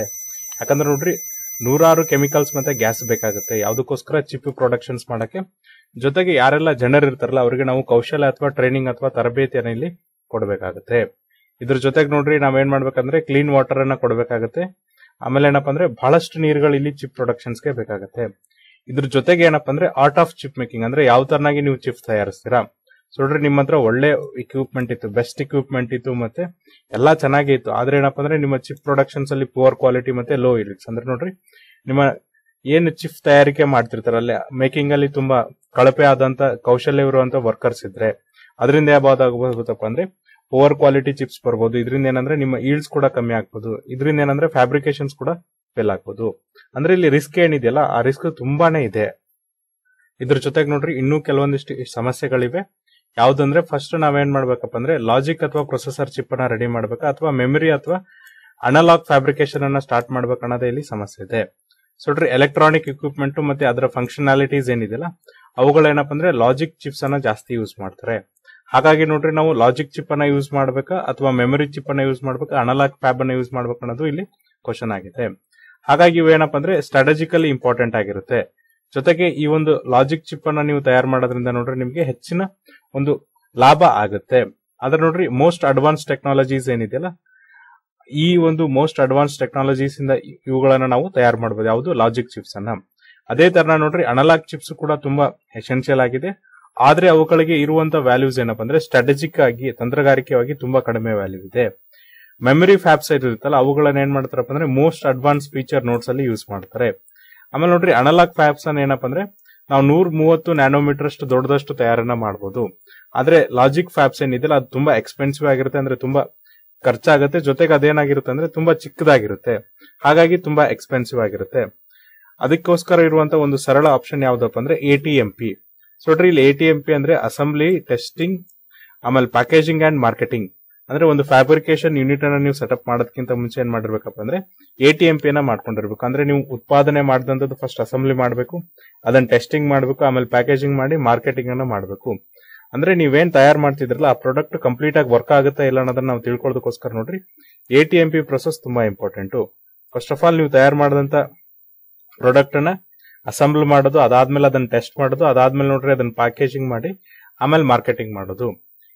ಈ ಎ ಟಿ ಎಂ ಪಿ ಮಾಡೋದ್ರಿಂದ ನಮ್ಗೆ ಏನಪ್ಪ ಅಂದ್ರೆ, ಕೆಲವೊಂದಿಷ್ಟು ಚಿಪ್ ಮೇಕಿಂಗ್ ಅಲ್ಲಿ ತುಂಬಾ ಅನುಕೂಲಗಳಾಗುತ್ತೆ ಯಾಕಂದ್ರೆ ನೋಡ್ರಿ, ಮುಂಚೆನೆ ನಾವು ಪ್ರಾಡಕ್ಟ್ ಹೆಂಗಿದೆ, ಯಾವ ತರನಾಗಿದೆ ಅಂತ ನಾವು ತಿಳ್ಕೊಂಡ್ಬಿಟ್ರೆ, ನಮಗೆ ಮಾರ್ಕೆಟಿಂಗ್ ಮಾಡಕ್ಕೆ ತುಂಬಾ ಸುಲಭ ಇರುತ್ತೆ. ಸೊ ನೋಡ್ರಿ, ನಮ್ಮ ಪ್ರಾಡಕ್ಟ್ ತುಂಬಾ ಉತ್ತಮವಾಗಿರ್ತಂದ್ರೆ ನಾವೇನ್ ಮಾಡ್ಬೋದು ಅಂದ್ರೆ ಲಾರ್ಜ್ ಸ್ಕೇಲ್ ಅಲ್ಲಿ ಮಾರ್ಕೆಟಿಂಗ್ ಮಾಡಬಹುದು ಇದರಿಂದ ಲಾರ್ಜ್ ಸ್ಕೇಜ್ ಉತ್ಪಾದನೆನ ಮಾಡಬಹುದು ಕಡಿಮೆ ಕ್ವಾಲಿಟಿ ಇತ್ತಂದ್ರೆ ಅಲ್ಲೆಲ್ಲಿ ಎಷ್ಟು ನೀಡಿದೆಯಲ್ಲ ಅಷ್ಟನ್ನ ಮಾತ್ರ ನಾವೇನ್ ಮಾಡ್ಬೋದಪ್ಪ ಅಂದ್ರೆ ಇಲ್ಲಿ ಉತ್ಪಾದನೆ ಮಾಡಕ್ಕೆ ಅವಕಾಶಗಳಿರುತ್ತೆ. ಹಾಗಾದ್ರೆ ನಾವು ಚೈನಾದಿಂದ ಏನ್ ಪಾಠಗಳನ್ನ ಕರಿಬಹುದು ಅಂದ್ರೆ ಸೊ ನೋಡ್ರಿ ಭಾರತ ಏನ್ ಮಾಡಿದೆ ಅಂದ್ರೆ ಅದರದೇ ಆದಂತ ಒಂದು ಲಾಜಿಕ್ ಫ್ಯಾಬ್ರಿಕೇಶನ್ ಯೂನಿಟ್ ಅನ್ನ ತೆಗೆಯೋದಕ್ಕೆ ತಂದೆ ಆದಂತ ತಂತ್ರಗಾರಿಕೆಯನ್ನ ಹಾಕೊಂಡಿದೆ. ಅದ್ರ ನೋಡ್ರಿ, ಚೈನಾ ಏನ್ ಮಾಡಿದೆ ಅಂದ್ರೆ ಅವರು ಕೆಲವೊಂದಿಷ್ಟು ಬದಲಾವಣೆಯನ್ನ ಮಾಡ್ಕೊಂಡಿದ್ದಾರೆ. ಫಸ್ಟ್ ಆಫ್ ಆಲ್ ಅವ್ರು ಏನಪ್ಪ ಅಂದ್ರೆ ಲಾಸ್ ಮೇಕಿಂಗ್ ಫ್ಯಾಬ್ರಿಕೇಶನ್ ಯೂನಿಟ್ ಏನಿದೆಯಲ್ಲ, ಅವುಗಳನ್ನ ಖರೀದಿ ಮಾಡಿದ್ದಾರೆ. ಇದಕ್ಕೆ ನೋಡ್ರಿ ಅದರದೇ ಆದಂತ ಒಂದು ಲಾಜಿಕ್ ಇದೆ. ಏನ್ ಲಾಜಿಕ್ ಇದೆ ಅಂದ್ರೆ ಫಸ್ಟ್ ಆಫ್ ಆಲ್ ನೋಡ್ರಿ ಎಕ್ಸಿಸ್ಟಿಂಗ್ ಫ್ಯಾಬ್ಸ್ ಇರೋದ್ರಿಂದ ಏನಿರುತ್ತಪ್ಪ ಅಂದ್ರೆ ನಿಮಗೆ ಬಹಳಷ್ಟು ಅಡ್ವಾಂಟೇಜಸ್ ಗಳಿರುತ್ತೆ. ಏನಪ್ಪಾ ಅಂದ್ರೆ ಅವುಗಳನ್ನ ರೀಸನೇಬಲ್ ಆಗಿ ಪ್ರೈಸ್ ಮಾಡಿರ್ತಾರೆ. ಅಂದ್ರೆ ನಿಮ್ಮ ಪ್ರಾಡಕ್ಟ್ ಏನು ರೇಟ್ ಇದೆ ಅನ್ನೋದನ್ನ ಫಸ್ಟ್ ಪ್ರೈಸ್ ಮಾಡಿರ್ತಾರೆ. ಜೊತೆಗೆ ನೋಡ್ರಿ ಅವ್ರ ಕಡೆ ಏನಂತಂದ್ರೆ ತಂತ್ರಗಾರಿಕೆ ಇರುತ್ತೆ. ಸ್ಟೆಬಿಲೈಸ್ಡ್ ಟೆಕ್ನಾಲಜಿ ಇರುತ್ತೆ. ಸ್ಟೆಬಿಲೈಸ್ಡ್ ತಂತ್ರಜ್ಞಾನ ಇರುತ್ತೆ. ಇದ್ರ ಜೊತೆಗೆ ಏನಪ್ಪಾ ಅಂದ್ರೆ ಸಪ್ಲೈ ಚೈನ್ ಎಕೋಸಿಸ್ಟಮ್ ಇರುತ್ತೆ. ಅಂದ್ರೆ ಈ ಒಂದು ಫ್ಯಾಬ್ಸ್ ಮುಂಚೆ ಯಾರಿಗೆ ಸಪ್ಲೈ ಸಪ್ಲೈ ಅನ್ನ ಮಾಡ್ತಿರ್ತಲ್ಲ ಅವುಗಳನ್ನ ನಾವು ತಿಳ್ಕೊಂಡಿರ್ತೀವಿ. ಜೊತೆಗೆ ಏನಪ್ಪ ಅಂದ್ರೆ ಎಸ್ಟಾಬ್ಲಿಷ್ಡ್ ಪ್ರಾಡಕ್ಟ್ ಲೈನ್ ಇರುತ್ತೆ ಮತ್ತೆ ಮಾರ್ಕೆಟಿಂಗ್ ಇರುತ್ತೆ. ಅಂದ್ರೆ ಈ ಪ್ರಾಡಕ್ಟ್ ಲೈನ್ ಯಾರಿಗೆ ಹೋಗ್ಬೇಕು ಮಾರ್ಕೆಟ್ ಮಾರುಕಟ್ಟೆ ಎಲ್ಲಿ ಕಳಿಸ್ಬೇಕು ಅನ್ನೋದು ನಮ್ಗೆ ಗೊತ್ತಿರುತ್ತೆ. ಇದರಿಂದ ನೋಡ್ರಿ ನಮ್ಗೇನಾಗುತ್ತೆ ಅಂದ್ರೆ ಈ ಚಿಪ್ಪಣ ತಯಾರಿದ ಮೇಲೆ ಅದನ್ನ ಮಾಡ್ ಮಾರ್ಕೆಟಿಂಗ್ ಮಾಡೋದಕ್ಕೆ ತುಂಬಾ ಈಸಿ ಆಗುತ್ತೆ. ಇದ್ರ ಜೊತೆಗೆ ನೋಡ್ರಿ, ಈ ಒಂದು ಲಾಸ್ ಮೇಕಿಂಗ್ ಯೂನಿಟ್ ಏನ್ ಮಾಡ್ತಾವಪ್ಪ ಅಂದ್ರೆ ಈ ಒಂದು ಫ್ಯಾಬ್ರಿಕೇಶನ್ ಯೂನಿಟ್ ಅನ್ನ ಡೆವಲಪ್ ಮಾಡೋದಕ್ಕೋಸ್ಕರ ಏನಪ್ಪ ಅಂದ್ರೆ ಹ್ಯೂಮನ್ ರಿಸೋರ್ಸಸ್ ಏನಿರುತ್ತಲ್ಲ ಆ ಹ್ಯೂಮನ್ ರಿಸೋರ್ಸ್ ಕೂಡ ಏನ್ ಮಾಡುತ್ತಂದ್ರೆ, ತನ್ನ ತಂತ್ರಜ್ಞಾನವನ್ನ ಟ್ರೈನ್ ಮಾಡಕ್ಕೆ ಕೊಡುತ್ತೆ. ಅಂದ್ರೆ, ಯಾರೆಲ್ಲ ನೀವು ಹ್ಯೂಮನ್ ರಿಸೋರ್ಸ್ ಅನ್ನ ತೆಗೆದುಕೊಂಡು ಹೋಗ್ತಿರಲ್ಲ, ಅವರಿಗೆ ಟ್ರೈನಿಂಗ್ ಅನ್ನ ಇದು ಕೊಡುತ್ತೆ. ಇದ್ರ ಜೊತೆಗೆ ನೋಡ್ರಿ ನಾವು ಕಡಿಮೆ ಆದಂತ ಸಬ್ಸಿಡೀಸ್ನ ಕೊಡಬೇಕಾಗುತ್ತೆ. ಇದರಿಂದ ಏನಪ್ಪ ಅಂದ್ರೆ ಈ ಫಂಡ್ಗಳು ಏನ್ ಉಳಿಯುತ್ತಲ್ಲ, ಅವುಗಳನ್ನ ರಿಸರ್ಚ್ ಅಂಡ್ ಡೆವಲಪ್ಮೆಂಟ್ ಅಲ್ಲಿ ಇನ್ವೆಸ್ಟ್ಮೆಂಟ್ ಅನ್ನ ಮಾಡಿ ನಾವೇನ್ ಮಾಡ್ಬೋದು ಅಂದ್ರೆ ನಮ್ದೇ ಆದಂತ ಒಂದು ಫ್ಯಾಬ್ರಿಕೇಶನ್ ಟೆಕ್ನಾಲಜಿನ ತಯಾರು ಮಾಡಬಹುದು ಇದರಿಂದ ಏನಪ್ಪಾ ಅಂದ್ರೆ ಮುಂದಿನ ಕೆಲವೊಂದಿಷ್ಟು ವರ್ಷಗಳಲ್ಲಿ ನೋಡ್ರಿ ನಮ್ದೇ ಆದಂತ state of art fabrication technology ಇರುತ್ತೆ. ಇನ್ನೂ ಒಂದು ತಂತ್ರಗಾರಿಕೆ ಏನಪ್ಪಾ ಅಂದ್ರೆ ನಾವು ಎ ಟಿ ಎಂ ಪಿ ಅನ್ನ ತಯಾರು ಮಾಡ್ಕೋಬಹುದು ಅಂದ್ರೆ assembly testing packaging and marketing ಏನಿದೆಯಲ್ಲ ಇವುಗಳನ್ನ ಮಾಡ್ಕೋಬಹುದು ಇದನ್ನ ನೋಡ್ರಿ ಭಾರತದಲ್ಲಿ ಏನಪ್ಪಾ ಅಂದ್ರೆ ಟಾಟಾಸ್ ಅಕ್ವೈರ್ ಮಾಡ್ಕೊಂಡಿದ್ದಾರೆ? ಇವ್ರು ಏನಪ್ಪ ಅಂದ್ರೆ ಎರಡ್ ಸಾವಿರದ ಹದಿಮೂರು, ಹದಿನಾಲ್ಕರಲ್ಲಿ ಏನಪ್ಪ ಅಂದ್ರೆ ಎ ಟಿ ಎಂ ಪಿನ ಸೆಟಪ್ ಮಾಡಿದ್ರು. ಸೊ ನೋಡ್ರಿ, ಈ ಎ ಟಿ ಎಂ ಪಿ ಈಗ ಏನ್ ಮಾಡ್ತಿದ್ರು ಅಂದ್ರೆ ಏಳು ನ್ಯಾನೋಮೀಟರ್ ಫೀಚರ್ ಇರುವಂತ ಸೈಜ್ ಪ್ಯಾಕೇಜಿಂಗ್ ಸೈಜ್ ಇರುವಂತ ಚಿಪ್ ಅನ್ನು ಇವರು ಪ್ಯಾಕೇಜಿಂಗ್ ಅನ್ನ ಮಾಡ್ತಾ ಇದ್ದಾರೆ. ಸೊ ನೋಡ್ರಿ ಚೈನಾ ಏನಪ್ಪ ಅಂದ್ರೆ ಆಲ್ರೆಡಿ ಅಂತದ್ದು hundred A T M C ಇಟ್ಕೊಂಡಿದೆ. ಭಾರತದಲ್ಲಿ ಕೇವಲ ಒಂದಿದೆ. ಇವುಗಳು ಇನ್ನೂ ಕೂಡ ಜಾಸ್ತಿ ಆಗ್ಬೋದು. ಚೈನಾ ನೋಡ್ರಿ ಫ್ಯಾಬ್ರಿಕೇಶನ್ ಜರ್ನಿ ಏನಿದೆ ಅಲ್ಲ, ಇದನ್ನ ಇಪ್ಪತ್ತು ವರ್ಷದ ಕೆಳಗಡೆ ಮಾಡಿತ್ತು. ಒಂದು ಚೈನೀಸ್ ಥಾಟ್ ಪ್ರಕಾರ ಏನಪ್ಪ ಅಂದ್ರೆ ಬೆಸ್ಟ್ ಟೈಮ್ ಯಾವಾಗ ಅಂದ್ರೆ ಒಂದು ಟ್ರೀನ ಹುಟ್ಟಕ್ಕೆ. ಅಂದ್ರೆ ಒಂದು ನಿಮ್ಗೆ ಮರ ಇರ್ಬೇಕಂದ್ರೆ ಅದ್ರ ಬೆಸ್ಟ್ ಟೈಮ್ ಯಾವಾಗಪ್ಪ ಅಂದ್ರೆ ಇಪ್ಪತ್ತು ವರ್ಷದ ಹಿಂದೆನೆ ನೀವು ಪ್ಲಾಂಟ್ ಮಾಡ್ಬೇಕಂತ ಹೇಳ್ತಾರೆ. ಆದ್ರೆ ಸೆಕೆಂಡ್ ಬೆಸ್ಟ್ ಟೈಮ್ ಯಾವಾಗ ಅಂದ್ರೆ ಇವಾಗ. ಅಂದ್ರೆ ಚೈನಾದಲ್ಲಿ ಒಂದು ಗಾದೆ ಮಾತು ಪ್ರಕಾರ ಏನಪ್ಪ ಅಂದ್ರೆ ಒಂದು ಗಿಡವನ್ನ ನೀವು ಕರೆಕ್ಟ್ ಆಗಿ ನೋಡ್ಬೇಕಂದ್ರೆ ಅದನ್ನ ಇಪ್ಪತ್ತು ವರ್ಷದ ಹಿಂದೆನೆ ನೀವೇನ್ ಮಾಡಿರ್ಬೇಕಂದ್ರೆ ಬೆಳೆಸಿರ್ಬೇಕು ಅಂತ ಹೇಳ್ತಾರೆ. ಆದ್ರೆ ಎರಡನೇ ಬೆಸ್ಟ್ ಯಾವಾಗಪ್ಪ ಅಂದ್ರೆ ಇವಾಗಿಂದ ನೀವು ಅದನ್ನ ಬೆಳೆಸಿದ್ರೆ ಇಪ್ಪತ್ತು ವರ್ಷ ಆದ್ಮೇಲೆ ಇನ್ನೂ ಫಲ ಕೊಡುತ್ತೆ. ಹಾಗಾಗಿ ನೋಡ್ರಿ ನಾವು ಇವಾಗಿಂದನೇ ಹೂಡಿಕೆ ಮಾಡ್ಕೊಂತ ಹೋದ್ರೆ ನಮ್ಗೇನಾಗುತ್ತೆ ಅಂದ್ರೆ ಮುಂಬರುವ ದಿನಗಳಲ್ಲಿ ಇನ್ನೂ ಕೂಡ ಅನುಕೂಲಗಳು ಜಾಸ್ತಿ ಇರುತ್ತೆ. ನೋಡ್ರಿ ನೆಕ್ಸ್ಟ್ ನಮ್ಮ ಎಡಿಟೋರಿಯಲ್ ಯಾವ್ದಿದೆ ಅಂದ್ರೆ refugees as asset to their new countries ಅಂದ್ರೆ ಯಾರೆಲ್ಲ ರೆಫ್ಯೂಜೀಸ್ ಇರ್ತಾರಲ್ಲ, ನಿರಾಶ್ರಿತರು ಅವ್ರೇನಪ್ಪ ಅಂದ್ರೆ ಅಸೆಟ್ಸ್ ಆಗ್ತಾರೆ ಅವರ ಒಂದು ಹೊಸ ಕಂಟ್ರೀಸ್ಗೆ ಈ ಒಂದು ಮಿಷನ್ ಆರ್ಟಿಕಲ್ ಅನ್ನ ಬರೆದವ್ರು ಯಾರಪ್ಪ ಅಂದ್ರೆ ಆಸ್ಕರ್ ಮುಂಡಿ ಮುಡಿಯಾ ಅಂತ ಹೇಳಿ, ಇವ್ರೇನಂದ್ರೆ chief of mission U N H R C India ಮತ್ತೆ ಮಾಲ್ಡೀವ್ಸ್ ಏನಂದ್ರೆ ಚೀಫ್ ಆಫ್ ಮಿಷನ್ ಆಗಿ ಇಲ್ಲಿ ಕೆಲಸ ಮಾಡ್ತಾರೆ. ಸೊ ನೋಡ್ರಿ, ನಿನ್ನೆ ಏನಿತ್ತಪ್ಪ ಅಂದ್ರೆ ವರ್ಲ್ಡ್ ರೆಫ್ಯೂಜಿ ಡೇ ಇತ್ತು. ಹಾಗಾಗಿ ಇವ್ರು ಏನ್ ಮಾಡಿದ್ರು ಅಂದ್ರೆ ಒಂದು ಕಂಪ್ಲೀಟ್ ಎಡಿಟೋರಿಯಲ್ ಅನ್ನ ಬರೆದಿದ್ದಾರೆ. ರೆಫ್ಯೂಜನ್ ನಾವು ಯಾವ ತರನಾಗಿ, ನಿರಾಶ್ರಿತರನ್ನ ನಾವು ಯಾವ ತರನಾಗಿ ಅಸೆಟ್ ಅನ್ನ ಮಾಡ್ಕೋಬಹುದು ಅಂತ ಹೇಳಿ. ಸೊ ನೋಡ್ರಿ, ನಾವು ಜನವರಿ ಇಪ್ಪತ್ತರ ಸಾರಿ ಜೂನ್ ಇಪ್ಪತ್ತರಂದು ಏನಪ್ಪ ಅಂದ್ರೆ ವರ್ಲ್ಡ್ ರೆಫ್ಯೂಜಿ ಡೇ ಅಂತ ಸೆಲೆಬ್ರೇಟ್ ಮಾಡ್ತೀವಿ. ಅಂದ್ರೆ ವಿಶ್ವ ನಿರಾಶ್ರಿತರ ದಿನ ಅಂತ ಸೆಲೆಬ್ರೇಟ್ ಮಾಡ್ತೀವಲ್ಲ? ಈಗ ನಾವೇನ್ ಮಾಡ್ಬೇಕಪ್ಪ ಅಂದ್ರೆ, ಈ ಒಂದು ರೆಫ್ಯೂಜಿಸ್ ಏನಿದ್ದಾರೆ, ನಿರಾಶ್ರಿತರ ಏನಿದ್ದಾರೆ, ಅವರ ಒಂದು ಧೈರ್ಯ ಮತ್ತೆ ಸದೃಢತೆಗೆ ದೃಢತೆಗೆ ಏನ್ ಮಾಡ್ಬೇಕಪ್ಪ ಅಂದ್ರೆ ನಾವು ಸಲ್ಯೂಟ್ ಅನ್ನ ಮಾಡ್ಬೇಕಾಗಿದೆ. ಯಾಕಂದ್ರೆ ನೋಡ್ರಿ ನೂರ ಮೂರು ಮಿಲಿಯನ್ ರೆಫ್ಯೂಜೀಸ್ ಅಂದ್ರೆ ನೂರ ಮೂರು ಮಿಲಿಯನ್ ಅಂದ್ರೆ ನೋಡ್ರಿ ಹತ್ತು ಪಾಯಿಂಟ್ ಮೂರು ಕೋಟಿ ಅಷ್ಟು ಏನಪ್ಪ ಅಂದ್ರೆ ಜನ ಈಗ ನಿರಾಶ್ರಿತರಾಗಿದ್ದಾರೆ. ಅವರು ಬೇರೆ ಬೇರೆ ಕಾರಣಗಳಿಂದ ನೋಡ್ರಿ ತಮ್ಮ ದೇಶವನ್ನ ಬಿಟ್ಟು ಬೇರೆ ದೇಶಕ್ಕೆ ಬಂದಿದ್ದಾರೆ. ಮುಖ್ಯ ಕಾರಣಗಳೇನಂದ್ರೆ ಅಲ್ಲಿರುವಂತ ಆಂತರಿಕ ದಂಗೆ ಇರ್ಬೋದು ಅಥವಾ ಅಂಡ್ರೆಸ್ಟ್ ಇರ್ಬೋದು ಜಗತ್ತಿನಾದ್ಯಂತ. ಆ ಕಾರಣದಿಂದ ನೋಡ್ರಿ ಅವರು ಆ ದೇಶ ಬಿಟ್ಟು ಬೇರೆ ದೇಶಕ್ಕೆ ಡಿಸ್ಪ್ಲೇಸ್ಮೆಂಟ್ ಆಗಿದ್ದಾರೆ. ಈ ಒಂದು ಫಿಗರ್ಸ್ ಏನಿದೆ, ಇವು ಏನಾಗುತ್ತಂದ್ರೆ ನೋಡಿದಾಗ ನಮಗೆ ಈ ಒಂದು ಜನರ ಹತ್ರ ಏನಪ್ಪ ಅಂದ್ರೆ ಬಹಳಷ್ಟು ಸ್ಟೋರಿಗಳಿದೆ ಅವುಗಳಿಂದ ಏನಾಗಿದೆ ಅಂದ್ರೆ ಅವರ ಒಂದು ಏನ್ ಲಾಸ್ ಇದೆ, ಆಮೇಲೆ ಅವರ ಡ್ರೀಮ್ಸ್ ಏನಿದೆ, ಅವುಗಳನ್ನೆಲ್ಲ ಏನ್ ಮಾಡಿದ್ರಪ್ಪ ಅಂದ್ರೆ ಕಟ್ ಹಾಕಿದ್ದಾರೆ. ಯಾಕಂದ್ರೆ ನೋಡ್ರಿ, ಅಲ್ಲಿ ಕಾನ್ಫ್ಲಿಕ್ಟ್ ಇದ್ದಾಗ ನೀವೇನು ಕೂಡ ಅಚೀವ್ಮೆಂಟ್ ಅನ್ನ ಮಾಡಕ್ಕಾಗಲ್ಲ. ಈ ಒಂದು ದಿನ ನಮ್ಗೇನ್ ರಿಮೈಂಡ್ ಮಾಡತ್ತಪ್ಪ ಅಂದ್ರೆ ನಮ್ಗೇನ್ ಹೇಳುತ್ತಂದ್ರೆ ಇದೆಲ್ಲ ಏನಪ್ಪ ಅಂದ್ರೆ ನಮ್ಮ ಕಲೆಕ್ಟಿವ್ ರೆಸ್ಪಾನ್ಸಿಬಿಲಿಟಿ ಇದೆ. ಅಂದ್ರೆ ನಾವು ಜಾಗತಿಕವಾಗಿ, ಜಾಗತಿಕ ನಾಗರಿಕರಾದಂತ ನಾವೇನಪ್ಪ ಅಂದ್ರೆ ಎಲ್ಲರೂ ಕೂಡ ಕಲೆಕ್ಟಿವ್ ಆಗಿ ಜವಾಬ್ದಾರಿಯುತ ಒಂದಾಗೆ ಕೆಲಸವನ್ನ ಮಾಡ್ಬೇಕಾಗತ್ತೆ. ಜೊತೆಗೆ ನೋಡ್ರಿ ನಾವು ಎಲ್ಲಾ ಕಮ್ಯುನಿಟಿ ಜೊತೆಗೆ ಏನಪ್ಪ ಅಂದ್ರೆ ಎಂಗೇಜ್ ಆಗ್ಬೇಕಾಗತ್ತೆ. ಜೊತೆಗೆ ಅವರಿಗೆ ಸಹನಾಭೂತಿಯನ್ನ ತೋರ್ಬೇಕಾಗತ್ತೆ. ಈ ಒಂದು ದಿನ ನೋಡ್ರಿ ನಾವು ಸಾಲಿಡಾರಿಟಿನ ಪ್ರಮೋಟ್ ಮಾಡ್ಬೇಕಾಗತ್ತೆ. ಅಂದ್ರೆ ಸಮುದಾಯಗಳ ಮಧ್ಯೆ ಇರುವಂತ ಸಾಲಿಡಾರಿಟಿನ ಪ್ರಮೋಟ್ ಮಾಡ್ಬೇಕಾಗತ್ತೆ. ಇದ್ರ ಜೊತೆಗೆ ನೋಡ್ರಿ ನಾವೇನ್ ಮಾಡ್ಬೇಕಪ್ಪ ಅಂದ್ರೆ ಏನ್ ರೆಫ್ಯೂಜೀಸ್ ಬರ್ತಾರಲ್ಲ ಅವು ಅವರನ್ನ ವೆಲ್ಕಮ್ ಮಾಡ್ಬೇಕಂದ್ರೆ ಯಾರು ನಿರಾಶ್ರಿತರು ಬರ್ತಾರಲ್ಲ ಅವ್ರನ್ನ ವೆಲ್ಕಮ್ ಮಾಡ್ಬೇಕು. ಜೊತೆಗೆ ಅವ್ರನ್ನ ಏನ್ ಮಾಡ್ಬೇಕಂದ್ರೆ ಡಿಸ್ಪ್ಲೇಸ್ಡ್ ಪರ್ಸನ್ಸ್ ಆಗಿ ಏನ್ ಮಾಡ್ಬೇಕಂದ್ರೆ ನಮ್ಮ ಕಮ್ಯುನಿಟಿ ಒಳಗೆ ಸೇರಿಸ್ಕೋಬೇಕಂತ ಇಲ್ಲಿ ಹೇಳ್ತಿದ್ದಾರೆ. ಈಗ ನೋಡ್ರಿ, ಈ ನಿರಾಶ್ರಿತರ ಜಾಗ ಮುಖ್ಯ ಕಾರಣ ಏನಪ್ಪ ಅಂದ್ರೆ ಜಾಸ್ತಿ ಆಗಕ್ಕೆ ಫಸ್ಟ್ ಯುಕ್ರೇನ್ ಅಲ್ಲಿ ಯುದ್ಧ ಆಗ್ತಿದೆ ಮಯನ್ಮಾರ್ ಅಲ್ಲಿ ಯುದ್ಧ ಆಗ್ತಿದೆ, ಸುಡಾನ್ ಈ ದೇಶಗಳಲ್ಲಿ ಯುದ್ಧ ಆಗ್ತಿರೋದ್ರಿಂದ. ಜೊತೆಗೆ ಏನಪ್ಪ ಅಂದ್ರೆ ಅಫ್ಘಾನಿಸ್ತಾನ ಮತ್ತೆ ಸುಮಾಲಯದಲ್ಲಿರುವಂತ ಈಗಿರುವಂತ ಸಮಸ್ಯೆಗಳು ಮತ್ತೆ ಈಗಿರುವಂತ ಸ್ಥಿತಿಗತಿಯನ್ನು ನೋಡಿದಾಗ ಅಲ್ಲಿರುವಂತ ಜನರು ಏನ್ ಅಂದ್ರೆ ಬೇರೆ ಜೊತೆ, ಬೇರೆ ದೇಶಕ್ಕೆ ವಲಸೆ ಹೋಗ್ತಿದ್ದಾರೆ. ಈ ಕ್ರೈಸಿಸ್ ಜೊತೆಗೆ ನೋಡ್ರಿ, ಅವರ ದೇಶವನ್ನ ಬಿಟ್ಟು ಅವ್ರು ಏನ್ ಮಾಡ್ತಿದ್ದಾರೆ ಅಂದ್ರೆ ಬೇರೆ ಬೇರೆ ಕಡೆ ಹೋಗ್ತಿದ್ದಾರೆ. ಹಾಗಾಗಿ ಅವ್ರ ಮನೆಗಳನ್ನ ಬಿಟ್ಟು ಅಲ್ಲೇನಾಗ್ತಿದ್ದಾರೆ ಅಂದ್ರೆ ಖಾಲಿ ಖಾಲಿ ಆಗ್ತಾ ಇದೆ. ಅಂದ್ರೆ ಈಗ ನೋಡ್ರಿ ಒಂದು ಗಿಡ ಅಪ್ರೂಟ್ ಆದಾಗ, ಅಂದ್ರೆ ಬುಡ ಮೇಲಾದಾಗ ಯಾವ ತರನಾಗಿರುತ್ತಲ್ಲ ಆ ತರದ ಪರಿಸ್ಥಿತಿ ಆದೇಶಗಳಲ್ಲಿ ಬಂದಿದೆ. ಅದಕ್ಕೆ ಮುಖ್ಯ ಕಾರಣ ಏನಪ್ಪಾ ಅಂದ್ರೆ ಯುದ್ಧ ಇರ್ಬೋದು, ಅಫ್ಘಾನಿಸ್ತಾನ್ ತಗೊಂಡ್ರೆ ಅಲ್ಲಿ ತಾಲಿಬಾನ್ ರೆಜಿಮ್ ಇರ್ಬೋದು.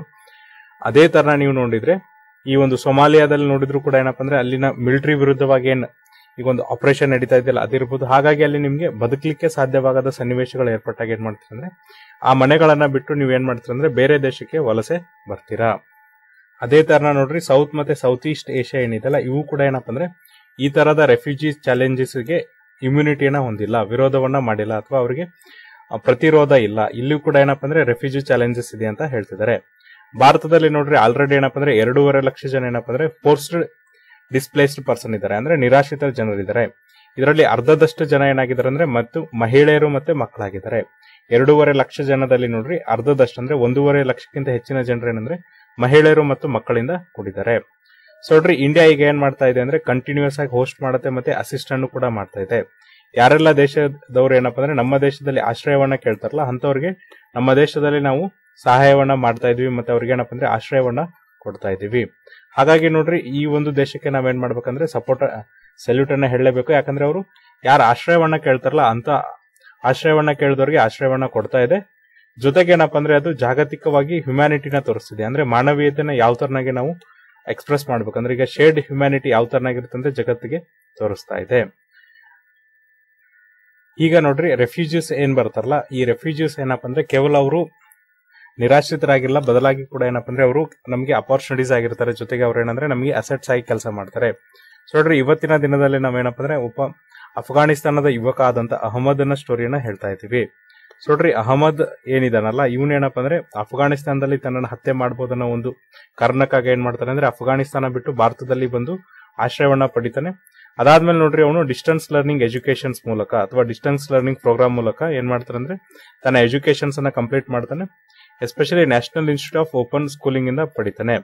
ಇದಾದ್ಮೇಲೆ ನೋಡ್ರಿ, ಅವ್ನ ಏನ್ ಮಾಡ್ತಾನೆ ಅಂದ್ರೆ ಲೋಕಲ್ ಕಮ್ಯುನಿಟಿ ಒಳಗೆ, ಅಂದ್ರೆ ಅವ್ರೇನ್ ನಿರಾಶ್ರಿತರಿಗೆ ಜಾಗ ಕೊಟ್ಟಿರ್ತಾರಲ್ಲ, ಅಲ್ಲಿರುವಂತ ಮಕ್ಕಳಿಗೆ ಏನ್ ಮಾಡ್ತಾನೆ ಅಂದ್ರೆ ಟೀಚಿಂಗ್ ಅನ್ನ ಸ್ಟಾರ್ಟ್ ಮಾಡ್ತಾನೆ. ಇದರಿಂದ ಅವನ ಒಂದು ಆಸ್ಪಿರೇಷನ್ ಏನಿತ್ತು, ಆಕಾಂಕ್ಷೆ ಏನಿತ್ತು ಕಮ್ಯುನಿಟಿಗೆ ಸರ್ವ್ ಮಾಡಬೇಕು, ಸಮುದಾಯಕ್ಕೆ ಸರ್ವ್ ಮಾಡ್ಬೇಕು ಅನ್ನೋದು, ಅದನ್ನು ಕೂಡ ನಾವೇನ್ ಮಾಡ್ದಂಗಾಗತ್ತೆ ಅಂದ್ರೆ ಅಫ್ಲಿಟ್ ಅನ್ನ ಮಾಡ್ದಂಗಾಗತ್ತೆ. ಇದ್ರ ಜೊತೆಗೆ ನೋಡ್ರಿ ಅವನು ಆ ಒಂದು ಸಮುದಾಯದ ಏನಪ್ಪಾ ಅಂದ್ರೆ ಆ ಒಂದು ಸಮಾಜದ ವ್ಯಾಲ್ಯೂಯಬಲ್ ಮೆಂಬರ್ ಆಗ್ತಾನೆ. ಅಂದ್ರೆ ಯಾವ ತರನಾಗಿ ನಾವು ನೋಡ್ರಿ ಇನ್ಸ್ಟಿಟ್ಯೂಷನಲ್ ಸಪೋರ್ಟ್ ಅನ್ನ ಕೊಡೋದ್ರಿಂದ ಅವನಲ್ಲಿರುವಂತ ಪೊಟೆನ್ಷಿಯಲ್ ಏನಿದೆ, ಅಂದ್ರೆ ಆ ವ್ಯಕ್ತಿಲಿ ಏನು ಪೊಟೆನ್ಷಿಯಲ್ ಇದೆ ಅಂತ ಗೊತ್ತಾಗುತ್ತೆ. ಜೊತೆಗೆ ಅವನು ಅದೇ ಸಮುದಾಯಕ್ಕೆ ಯಾವ ತರನಾಗಿ ಕಾಂಟ್ರಿಬ್ಯೂಟ್ ಮಾಡಬಹುದು ಅದೇ ಸೊಸೈಟಿಗೆ ಯಾವ ತರನಾಗಿ ಕಾಂಟ್ರಿಬ್ಯೂಟ್ ಮಾಡಬಹುದು ಅನ್ನೋದನ್ನ ನಾವೇನಪ್ಪ ಅಂದ್ರೆ ಅಹಮದನ ಸ್ಟೋರಿಯಿಂದ ತಿಳ್ಕೊಬಹುದಾಗಿದೆ ಸೊ ನೋಡ್ರಿ, ಯಾರೆಲ್ಲ ನಿರಾಶ್ರಿತ ಯುವಕರು ಇರ್ತಾರಲ್ಲ, ಅವ್ರೇನಪ್ಪ ಅಂದ್ರೆ ಅವ್ರಿಗೆ ಕೇವಲ ಟ್ಯಾಲೆಂಟ್ ಮಾತ್ರ ಮ್ಯಾಟರ್ ಆಗಲ್ಲ, ಬದಲಾಗಿ ಏನಪ್ಪ ಅಂದ್ರೆ ಪ್ರಾಸ್ಪೆಕ್ಟ್ಸ್ ಅಂದ್ರೆ ಯಾವ ತರನಾಗಿ ಇಲ್ಲಿ ಪ್ರಾಸ್ಪೆಕ್ಟ್ ಇದೆ, ಅಭಿವೃದ್ಧಿ ಹೊಂದಕ್ಕೆ ಯಾವ ತರನಾಗಿ ಚಾನ್ಸ್ ಇದೆ, ಅದು ಕೂಡ ಮ್ಯಾಟರ್ ಆಗುತ್ತೆ. ಅವ್ರಿಗೆ ನೋಡ್ರಿ, ಅವಕಾಶಗಳು ಬೇಕಾಗಿರುತ್ತೆ, ಬದಲಾಗಿ ಅವ್ರಿಗೆ ಏನಪ್ಪ ಅಂದ್ರೆ ಹ್ಯಾಂಡ್ ಔಟ್ಸ್ ಬೇಕಾಗಿರಲ್ಲ, ಅಂದ್ರೆ ನಾವು ನಿರಾಶ್ರಿತರಿಗೆ ಏನು ಕೆಲವೊಂದಿಷ್ಟು ಹಣವನ್ನ ಕೊಡ್ತೀವಿ, ಹಣದ ಸಹಾಯವನ್ನ ಮಾಡ್ತೀವಲ್ಲ, ಈ ತರದ ಹಣದ ಸಹಾಯ ಬೇಕಾಗಿಲ್ಲ. ಬದಲಾಗಿ ಅವಕಾಶಗಳು ಬೇಕಾಗಿರುತ್ತೆ. ಅವರು ಕೂಡ ನೋಡ್ರಿ, ಒಂದು ಸೆಲ್ಫ್ ರಿಲಯಂಟ್ ಆಗಿರ್ಬೇಕಾಗಿರುತ್ತೆ ಅಂದ್ರೆ ಸ್ವಾವಲಂಬಿಗಳಾಗಿರ್ಬೇಕಾಗಿರುತ್ತೆ. ಅವರು ಕೂಡ ಏನಪ್ಪ ಅಂದ್ರೆ ತಮ್ಮ ಟ್ಯಾಲೆಂಟ್ಸ್ ಏನಿದೆ ಅವುಗಳನ್ನ ಯೂಸ್ ಮಾಡಿಕೊಂಡು, ಅವರ ಸಮುದಾಯಕ್ಕೆ ಏನ್ ಮಾಡ್ಬೇಕಂದ್ರೆ ಕಾಂಟ್ರಿಬ್ಯೂಟ್ ಅನ್ನ ಮಾಡ್ಬೇಕಂತ ಇಟ್ಕೊಂಡಿರ್ತಾರೆ. ಅಂದ್ರೆ ಯಾರೆಲ್ಲ ಸಮುದಾಯದೊಳಗೆ ಇರ್ತಾರಲ್ಲ, ಅವರಿಗೆ ಕಾಂಟ್ರಿಬ್ಯೂಟ್ ಮಾಡೋದಿರ್ಬೋದು. ಮತ್ತೆ ಯಾವ ದೇಶದ ಅವರಿಗೆ ಹೋಸ್ಟ್ ಮಾಡ್ತಿದ್ದಿಲ್ಲ, ಆ ದೇಶಕ್ಕೆ ಕಾಂಟ್ರಿಬ್ಯೂಷನ್ ಮಾಡ್ಬೇಕಂತ ಹೇಳಿ ಈಗಿನ ನಿರಾಶ್ರಿತ ಯುವಕರು ಕಾಯ್ತಾ ಇರ್ತಾರೆ. ಹಾಗಾಗಿ ನೋಡ್ರಿ ನಾವೇನ್ ಮಾಡ್ಬೋದು ಅಂದ್ರೆ ಅವರಿಗೆ ಹೆಚ್ಚಿನ ಅಪಾರ್ಚುನಿಟೀಸ್ ಅನ್ನ ಕೊಟ್ಟು ಅವರು ಮನೆಯಿಂದ ದೂರ ಇದ್ರೂ ಸಹ ಏನಪ್ಪ ಅಂದ್ರೆ ಅವರು ಮನೆಯಲ್ಲಿದ್ದಂತ ವಾತಾವರಣ ಕ್ರಿಯೇಟ್ ಮಾಡಿ ನಾವೇನ್ ಮಾಡ್ಬೋದು ಅಂದ್ರೆ ಅವರ ಆಸ್ಪಿರೇಷನ್ ಏನಿದೆ, ಅವರ ಆಕಾಂಕ್ಷೆ ಏನಿದೆ, ಅವರ ಸಮುದಾಯಕ್ಕೆ ಸರ್ವ್ ಮಾಡೋದು, ಜೊತೆ ಜೊತೆಗೆ ಏನಪ್ಪ ಅಂದ್ರೆ ಯಾವ ದೇಶ ಅವರಿಗೆ ಹೋಸ್ಟಿಂಗ್ ಅನ್ನ ಮಾಡಿರುತ್ತೆ, ಯಾವ ದೇಶ ಅವರಿಗೆ ಆಶ್ರಯವನ್ನ ಕೊಟ್ಟಿರುತ್ತಲ್ಲ ಆ ದೇಶಕ್ಕೆ ಸರ್ವ್ ಮಾಡುವಂತ ಅವಕಾಶಗಳನ್ನ ಮಾಡಿಕೊಡ್ಬೇಕಾಗತ್ತೆ. ನೋಡ್ರಿ ಇದಕ್ಕಿರುವಂತ ಉದಾಹರಣೆಗಳೇನಪ್ಪ ಅಂದ್ರೆ ತುಂಬಾ ಇದೆ. ಕೆಲವೊಂದ್ ಟೈಮ್ ಏನಪ್ಪ ಅಂದ್ರೆ ಈ ಯೂತ್ಸ್ ಏನ್ ಮಾಡ್ತಾರೆ ಅಂದ್ರೆ ತಮ್ಮ ರೆಸಿಲಿಯನ್ಸ್ ಏನಿದೆ, ದೃಢತೆ ಏನಿದೆಯಲ್ಲ, ಅದನ್ನ ತೋರಿಸ್ತಾರೆ. ಜೊತೆಗೆ ಟ್ಯಾಲೆಂಟ್ಸ್ ಅನ್ನು ತೋರಿಸ್ ಕೂಡ ಏನ್ ಮಾಡ್ತಾರಪ್ಪ ಅಂದ್ರೆ ರೈಟ್ ಅಪಾರ್ಚುನಿಟಿಗೋಸ್ಕರ ಅವರು ಕಾಯ್ತಾ ಇದ್ದಾರೆ ಸೊ ನೋಡ್ರಿ, ನಾವು ಒಂದ್ ಏನ್ ಹೇಳ್ಬೋದು ಅಂದ್ರೆ, ನಮ್ಮಲ್ಲಿ ಏನಾದ್ರೂ ಕೆರಿಯರ್ ಸಪೋರ್ಟ್ ಇದ್ರೆ ಮತ್ತೆ ಸ್ಟ್ರಾಂಗ್ ವಿಲ್ ಇದ್ರೆ ಯಾವ ತರನಾಗಿ ಇಲ್ಲಿ ಕೆಲಸಗಳನ್ನ ಮಾಡ್ಬೋದು ಅಂದ್ರೆ, ಸೊ ನೋಡ್ರಿ, ರೋಹಿಂಗಿಯ ನಿರಾಶ್ರಿತರಾದಂತ ಅಂದ್ರೆ ರೋಹಿಂಗಿಯ ನಿರಾಶ್ರಿತರ ನಿರಾಶ್ರಿತರಂತ ನಾವೇನ್ ಕರಿತೀವಿ? ಅದರಲ್ಲಿ ಒಬ್ಬ ನಿರಾಶ್ರಿತರಾದಂತ ಮತ್ತೆ ಎರಡೆರಡು ಸರಿ ನೋಡ್ರಿ ಡಿಸ್ಪ್ಲೇಸ್ಡ್ ಆದಂತ. ಅಂದ್ರೆ ಎರಡೆರಡು ಸರಿ ಅವ್ರಿಗೆ ಏನಪ್ಪಾ ಅಂದ್ರೆ ಸ್ಥಳಾಂತರಗೊಂಡಂತ ಒಬ್ಬ ಸ್ಟೇಟ್ಲೆಸ್ ಪರ್ಸನ್ಸ್ ಆದಂತ ತಸ್ಲೀಮಾ ಏನ್ ಮಾಡಿದ್ದಾಳೆ ಅಂದ್ರೆ ಅವಳು ತನ್ನ ಎಜುಕೇಶನ್ಸ್ ಅನ್ನ ಫುಲ್ಫಿಲ್ ಮಾಡಿದ್ದಾಳೆ. ಅಂದ್ರೆ ತಾನು ಎಜುಕೇಟೆಡ್ ಆಗಿದ್ದಾಳೆ. ಹಾಗಾಗಿ ನೋಡ್ರಿ ಅವಳು ಏನಾಗ್ತಾಳೆ ಅಂದ್ರೆ ಆ ಒಂದು ಸಮುದಾಯಕ್ಕೆ ಅಥವಾ ಆ ಒಂದು ಕಮ್ಯುನಿಟಿಯಲ್ಲಿ ರೋಲ್ ಮಾಡೆಲ್ ಆಗಿ ಕಾಣಿಸ್ತಾಳೆ. ಆ ಒಂದು ಸಮುದಾಯದಲ್ಲಿರುವಂತ ಬೇರೆ ಹೆಣ್ಣು ಮಕ್ಕಳಿಗೂ ಕೂಡ ಏನಪ್ಪಾ ಅಂದ್ರೆ ಈ ಒಂದು ಎಜುಕೇಶನ್ ಪರ್ಸ್ಯೂ ಮಾಡೋದಕ್ಕೆ ಅಥವಾ ಎಜುಕೇಶನ್ ಕಲಿಯೋದಕ್ಕೆ ಅವಕಾಶವನ್ನ ಮಾಡಿಕೊಡ್ತಾಳೆ ಅಥವಾ ಎಜುಕೇಶನ್ ಕಲಿಬೇಕನ್ನೋ ಹಂಬಲ ಅವರಲ್ಲಿ ಹುಟ್ಟಿಸ್ತಾರೆ. ಅದೇ ತರ ನೋಡ್ರಿ, ಯಾವ ತರ ನಾವು ಸ್ಕಿಲ್ಸ್ ಮತ್ತೆ ಗೈಡೆನ್ಸ್ ಅನ್ನ ಕೊಡೋದ್ರಿಂದ ಏನಾಗ್ಬೋದು ಅಂದ್ರೆ, ಆಯೇಷಾ ಅನ್ನೋ ಒಂದು ಅಫ್ಘಾನಿ ರೆಫ್ಯೂಜಿ ಏನ್ ಮಾಡ್ತಾಳಪ್ಪ ಅಂದ್ರೆ, ಅವಳು ಒಂದು ಕೆರಿಯರ್ ಅನ್ನ ಮಾಡ್ಕೋತಿದ್ದಾಳೆ. ಯಾವ್ದ್ರೊಳಗಂದ್ರೆ ಆರ್ಟಿಸ್ಟ್ ಡಿಸೈನರ್ ಕೆರಿಯರ್ ಅನ್ನ ಮಾಡ್ಕೋತಿದ್ದಾಳೆ. ಈಗ ಆಲ್ರೆಡಿ ಅವಳು ಏನಪ್ಪ ಅಂದ್ರೆ ಆನ್ಲೈನ್ ಒಂದು ಸ್ವಿಮ್ ವೇರ್ ಅನ್ನ ಡಿಸೈನ್ ಮಾಡಿದ್ದಾಳೆ. ಇದು ಆಲ್ರೆಡಿ ಏನಪ್ಪ ಅಂದ್ರೆ ಅಪ್ಕಮಿಂಗ್ ಬ್ರ್ಯಾಂಡ್ ಏನಿದೆಯಲ್ಲ, ಆ ಅಪ್ಕಮಿಂಗ್ ಬ್ರ್ಯಾಂಡಿಗೋಸ್ಕರ ಈ ಸ್ವಿಮ್ ವೇರ್ ಅನ್ನ ಮಾಡಿದ್ದಾಳೆ. ಈಗ ಅದೇನಾಗಿದೆ ಅಂದ್ರೆ ಆನ್ಲೈನ್ ಸ್ಟೋರ್ ಅಲ್ಲಿ ಆನ್ಲೈನ್ ಮಾರಾಟಕ್ಕಿದೆ ಅಂದ್ರೆ ಇಲ್ಲಿ ಏನ್ ಹೇಳ್ತಿದ್ದಾರೆ ಅಂದ್ರೆ ನೀವು ಸ್ಕಿಲ್ಸ್ ಅನ್ನ ಕೊಟ್ರೆ, ಯಾವ ತರನಾಗಿ ಆಯಶ ಇರ್ಬೋದು, ಅದೇ ತರನ ನೀವೇನಪ್ಪ ಅಂದ್ರೆ ಎಜುಕೇಶನ್ಸ್ ಕೊಟ್ರೆ, ತಲ್ಸ್ಲಿಮಾ ಏನಿದ್ದಾಳೆ, ಆ ಒಂದು ಎಜುಕೇಶನ್ ಪಡೆದುಕೊಳ್ಳುವಂತ ಹಂಬಲ ಏನಿರುತ್ತಲ್ಲ, ಆ ಹಂಬಲವನ್ನು ಪೂರೈಕೆ ಮಾಡ್ಕೊಳ್ಳೋದಿರ್ಬೋದು, ಜೊತೆಗೆ ತಮ್ಮ ಕೆರಿಯರ್ ಅನ್ನ ಸಪೋರ್ಟ್ ಮಾಡ್ಕೊಳ್ಳೋದಿರ್ಬೋದು, ಈ ತರದ ಉದಾಹರಣೆಗಳು ಸಾಕಷ್ಟಿದೆ. ಜೊತೆಗೆ ನೋಡ್ರಿ, ಈ ಒಂದು ನಿರಾಶ್ರಿತರು ಏನಪ್ಪ ಅಂದ್ರೆ ತಮ್ಮ ಕೆರಿಯರ್ನ ಗ್ರೋತ್ ಮಾಡ್ಕೊಳ್ಳೋದಕ್ಕೆ ಅಥವಾ ಏನಾದರೂ ಸಾಧನೆ ಮಾಡ್ಬೇಕಾದ್ರೆ ಅಲ್ಲಿ ಬಹಳಷ್ಟು ಏನಿರ್ತಾವ ಅಂದ್ರೆ ಅಬ್ಸ್ಟೇಕಲ್ಸ್ ಇರುತ್ತೆ ಅಡೆತಡೆಗಳಿರುತ್ತೆ ಎಸ್ಪೆಷಲಿ ಏನಪ್ಪ ಅಂದ್ರೆ ಅವರಿಗೆ ಲೀಗಲ್ ರೆಕಗ್ನೈಸೇಷನ್ ಸಿಗುತ್ತೆ. ಅಂದ್ರೆ ಸರ್ಕಾರದಿಂದ ಕೊಡುವಂತ ಡಾಕ್ಯುಮೆಂಟ್ಸ್ ತೆಗೆದುಕೊಳ್ಳಲು ಏನಪ್ಪ ಅಂದ್ರೆ ಸಿಕ್ಕಾಪಟ್ಟೆ ಸಮಸ್ಯೆಗಳಿರುತ್ತೆ ಚಾಲೆಂಜಸ್ಗಳಿರುತ್ತೆ ಇದ್ರ ಜೊತೆಗೆ ಏನಪ್ಪ ಅಂದ್ರೆ ಅವರಿಗೆ ಇದರಿಂದ ಏನಾಗುತ್ತೆ ಅಂದ್ರೆ ಅವರ ಒಂದು ಎಸೆನ್ಷಿಯಲ್ ಸರ್ವಿಸ್ ಏನಿರುತ್ತಲ್ಲ, ಆ ಒಂದು ಎಸೆನ್ಷಿಯಲ್ ಸರ್ವಿಸ್ ಕಮ್ಮಿ ಆಗುತ್ತೆ. ಜೊತೆಗೆ ಏನಂದ್ರೆ ಅವರಿಗೆ ಫೈನಾನ್ಷಿಯಲ್ ಸಪೋರ್ಟ್ ಬೇಕು, ಮತ್ತೆ ಆರೋಗ್ಯದ ಕಾಳಜಿ ಬೇಕು.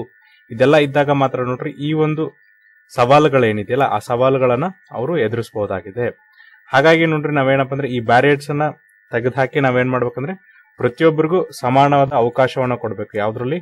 ಉದ್ಯೋಗ ಅವಕಾಶದಲ್ಲಿ ಎಜುಕೇಶನ್ಸ್ ಅಲ್ಲಿ ಮತ್ತೆ ಎಜುಕೇಶನ್ಸ್ ಅಲ್ಲಿ ಮತ್ತೆ ಹೆಲ್ತ್ ಕೇರ್ ಅಲ್ಲಿ ನಾವೇನ್ ಮಾಡ್ಬೇಕಪ್ಪ ಅಂದ್ರೆ ಸಮಾನವಾದ ಅವಕಾಶವನ್ನ ಕೊಡಬೇಕಾಗತ್ತೆ. ಸೊ ನೋಡ್ರಿ, ನಾವೀಗ ಒಂದು ಏನ್ ಎಫರ್ಟ್ ಹಾಕೊಂಡಿದ್ವಿ, ಒಂದು ಇನ್ಕ್ಲೂಸಿವ್ ಸೊಸೈಟಿಯನ್ನ ಮಾಡ್ಕೊಂಡ್ ಮಾಡ್ಬೇಕಂತ ಮಾಡಿದ್ವಿ. ಅಂದ್ರೆ ಎಲ್ಲರನ್ನೂ ಒಳಗೊಂಡಂತ ಒಂದು ಸಮಾಜವನ್ನ ಮಾಡ್ಬೇಕಂತ ಮಾಡಿದ್ವಲ್ಲ? ಇದನ್ನ ಯಾವಾಗ ಆಗತ್ತಪ್ಪ ಅಂದ್ರೆ, ಯಾರು ಈ ಒಂದು ನಿರಾಶ್ರಿತ ಯೂತ್ ಇರ್ತಾರಲ್ಲ, ಅವ್ರಿಗೂ ಕೂಡ ನಾವು ಒಂದು ಅಪರ್ಚುನಿಟೀಸ್ ಕೊಟ್ಟಾಗ ಮಾತ್ರ ಇದು ಆಗತ್ತೆ. ಅದಕ್ಕೋಸ್ಕರ ನೋಡ್ರಿ ನಾವೇನ್ ಮಾಡ್ಬೇಕಂದ್ರೆ ನೋ ಒನ್ ಲೆಫ್ಟ್ ಬಿಹೈಂಡ್ ಅಂದ್ರೆ ಯಾರನ್ನೂ ಕೂಡ ಹಿಂದೆ ಬಿಡಬಾರ್ದು. ಅದಕ್ಕೋಸ್ಕರ ನಾವೇನ್ ಮಾಡ್ಬೇಕಂದ್ರೆ, ಈ ಯೂತ್ಸ್ ಏನಿರ್ತಾರೆ ಅವ್ರನ್ನೂ ಇನ್ಕ್ಲೂಡ್ ಮಾಡಬೇಕು. ಎಸ್ಪೆಷಲಿ ರೆಫ್ಯೂಜಿ ಇತ್ತು ಅಂದ್ರೆ ನಿರಾಶ್ರಿತ ಯುವಕರನ್ನು ಕೂಡ ನಾವೇನ್ ಮಾಡ್ಕೋಬೇಕಂದ್ರೆ ಇನ್ಕ್ಲೂಡ್ ಅನ್ನ ಮಾಡ್ಕೋಬೇಕು. ಅವಾಗ ಮಾತ್ರ ನೋಡ್ರಿ ನಮ್ದೇನ್ ಸುಸ್ಥಿರ ಅಭಿವೃದ್ಧಿ ಅಜೆಂಡಾ ಇದೆ ಅಥವಾ ಸುಸ್ಥಿರ ಅಭಿವೃದ್ಧಿ ಕಾರ್ಯಕ್ರಮ ಇದೆಯಲ್ಲ, ಅದು ಫುಲ್ಫಿಲ್ ಆಗತ್ತೆ. ಸೊ ನೋಡ್ರಿ, ಈ ತರನಾಗ ಏನಪ್ಪ ಅಂದ್ರೆ ಈಗ ಫೋರ್ಸಿಬಲ್ ಡಿಸ್ಪ್ಲೇಸ್ಮೆಂಟ್ ಏನಾಗ್ತಿದೆಯಲ್ಲ, ಅದನ್ನ ಏನ್ ಮಾಡ್ಬೇಕಂದ್ರೆ ಪ್ರತಿಯೊಬ್ರು ಮೋರಲ್ ರೆಸ್ಪಾನ್ಸಿಬಿಲಿಟಿ ಅಂತ ತೆಗೆದುಕೊಳ್ಬೇಕು, ಜೊತೆಗೆ ಅದಕ್ಕೆ ಕಲೆಕ್ಟಿವ್ ಆಕ್ಷನ್ಸ್ ಬೇಕು. ಈಗ ನೋಡ್ರಿ ರೆಫ್ಯೂಜೀಸ್ ಏನ್ ಜಾಸ್ತಿ ಆಗ್ತಿದಾರಲ್ಲ, ಅವರ ಒಂದು ಡಿಸ್ಪ್ಲೇಸ್ಮೆಂಟ್ ಅನ್ನ ನೋಡಿದಾಗ, ಅಂದ್ರೆ ಲಕ್ಷ ಲಕ್ಷ ಗಂಟಲೆ ಜನ ಬರ್ತಿರುವಾಗ, ಕೋಟಿ ಕೋಟಿ ಗಂಟ್ಲೆ ಜನ ಬರ್ತಿರುವಾಗ ಈ ಒಂದು ಅಪ್ರೋಚ್ ಅನ್ನ ನೋಡಿದಾಗ ನೋಡ್ರಿ, ಎಲ್ಲರೂ ಕೂಡ ಏನಪ್ಪ ಅಂದ್ರೆ ಒಂದಾಗಿಲ್ಲ ಕೆಲಸ ಮಾಡಬೇಕು. ಅಂದ್ರೆ ಹೋಲ್ ಸೊಸೈಟಿ ಒಂದಾಗಿಲ್ಲಿ ಕೆಲಸ ಮಾಡಬೇಕು. ಹಾಗಾಗಿ ನೋಡ್ರಿ, ಇದು ಕೇವಲ ಏನಪ್ಪ ಅಂದ್ರೆ ಸರ್ಕಾರದ ಜವಾಬ್ದಾರಿ ಮಾತ್ರ ಆಗಿರಬಾರ್ದು. ಬದಲಾಗಿ ಇಲ್ಲಿ ಏನಾಗಿರ್ಬೇಕಪ್ಪ ಅಂದ್ರೆ ಪ್ರತಿಯೊಬ್ಬರ ನಾಗರಿಕರನ್ನ ಜವಾಬ್ದಾರಿ ಆಗಿರ್ಬೇಕು ಜೊತೆಗೆ ಪ್ರೈವೇಟ್ ಸೆಕ್ಟರ್ ಜವಾಬ್ದಾರಿ ಆಗಿರ್ಬೇಕು ಜೊತೆಗೆ ಎನ್ ಜಿ ಓಸ್ ಏನಿರುತ್ತೆ ನಾನ್ ಗವರ್ಮೆಂಟಲ್ ಆರ್ಗನೈಸೇಷನ್ ಅವ್ರ ಜವಾಬ್ದಾರಿನೂ ಕೂಡ ಆಗಿರ್ಬೇಕು. ಅವಾಗ ಮಾತ್ರ ಇಲ್ಲಿ ಏನಾಗುತ್ತಂದ್ರೆ ಜೊತೆಗೆ ಏನಪ್ಪ ಅಂದ್ರೆ ಕಮ್ಯುನಿಟಿ ಬೇಸ್ಡ್ ಆರ್ಗನೈಸೇಷನ್ ಜವಾಬ್ದಾರಿನೂ ಕೂಡ ಆಗಿರ್ಬೇಕು. ಅವಾಗ ಮಾತ್ರ ಈ ಕಾರ್ಯಕ್ರಮ ಸುಸ್ತ ಅಂದ್ರೆ ಈ ಒಂದು ರೆಫ್ಯೂಜೀಸ್ಗೆ ನಾವೇನಪ್ಪ ಅಂದ್ರೆ ನ್ಯಾಯವನ್ನು ಒದಗಿಸ್ಕೊಟ್ಟಂಗಾಗತ್ತೆ. ಅವರು ಕೂಡ ನಮ್ಮಂತೆ ಬದುಕಕ್ಕೆ ಅವಕಾಶವನ್ನ ಮಾಡ್ಕೊಟ್ಟಂಗಾಗತ್ತೆ. ಅದೇ ತರ ನೋಡ್ರಿ ಗ್ಲೋಬಲ್ ಸೌತ್ ಏನಿದೆ. ಅಂದ್ರೆ ನಾವು ಜಾಗತಿಕ ದಕ್ಷಿಣ ಏನೇ ಅಂತ ಕರಿತೀವಲ್ಲ, ಇಲ್ಲಿ ಕೂಡ ನೋಡ್ರಿ ಏನಾಗ್ತಿದೆ ಅಂದ್ರೆ ಈ ರೆಫ್ಯೂಜೀಸ್ ತೊಂದರೆ ಇಲ್ಲ ಅಂತ ಹೇಳಲ್ಲ. ಈಗ ರೆಫ್ಯೂಜೀಸ್ ತೊಂದರೆ ಇದೆ ಇದೆ. ಯಾಕಂದ್ರೆ ನೋಡ್ರಿ ನಿಮಗೆ ಗೊತ್ತು ಮಯನ್ಮಾರ್ ಅಲ್ಲಿ ಕಾನ್ಫ್ಲಿಕ್ಟ್ ಇದೆ. ಈ ಮಯನ್ಮಾರ್ ಅಲ್ಲಿ ಕಾನ್ಫ್ಲಿಕ್ಟ್ ಇರೋದ್ರಿಂದ ಏನಪ್ಪ ಅಂದ್ರೆ ರೋಹಿಂಗಿಯಾಸ್ ಏನಾಗ್ತಿದ್ದಾರೆ ಅಂದ್ರೆ ಈ ರೋಹಿಂಗಿಯಾಸ್ ಈಗ ಫಸ್ಟ್ ಏನ್ ಮಾಡ್ತಾರಪ್ಪ ಅಂದ್ರೆ ಬಾಂಗ್ಲಾದೇಶಕ್ಕೆ ಡಿಸ್ಪ್ಲೇಸ್ ಆಗ್ತಾರೆ. ಬಾಂಗ್ಲಾದೇಶದಿಂದ ಇಲ್ಲಿಗಲ್ ಆಗಿ ಏನ್ ಮಾಡ್ತಾರೆ ಅಂದ್ರೆ ಭಾರತಕ್ಕೆ ಬರ್ತಾರೆ. ಈ ಒಂದು ಸಮಸ್ಯೆ ಏನಿದೆಯಲ್ಲ, ಈ ಒಂದು ಸಮಸ್ಯೆ ಏನಪ್ಪ ಅಂದ್ರೆ ಕೇವಲ ಜಾಗತಿಕವಾಗಿ ಏನಪ್ಪ ಅಂದ್ರೆ ರಷ್ಯಾ ಯುಕ್ರೇನ್ ಕಾನ್ಫ್ಲಿಕ್ಟ್ ಇರ್ಬೋದು, ಬೇರೆ ಬೇರೆ ಕಡೆ ಮಾತ್ರ ಇಲ್ಲ, ಬದಲಾಗಿ ನಮ್ಮ ದಕ್ಷಿಣ ದೇಶಗಳಲ್ಲೂ ಕೂಡ ಇದೆ. ಹಾಗಾಗಿ ಇದನ್ನ ನಾವು ಫಸ್ಟ್ ಅಡ್ರೆಸ್ ಮಾಡಬೇಕು. ಈಗ ನೋಡ್ರಿ ರೋಹಿಂಗಿಯಾಸ್ ನಾವೇನ್ ಡಿಸ್ಪ್ಲೇಸ್ ಮಾಡ್ತಾರಲ್ಲ, ಅವುಗಳಿಂದ ಆಗುವಂತ ತೊಂದರೆನೂ ಕೂಡ ಜಾಸ್ತಿ ಇರುತ್ತೆ.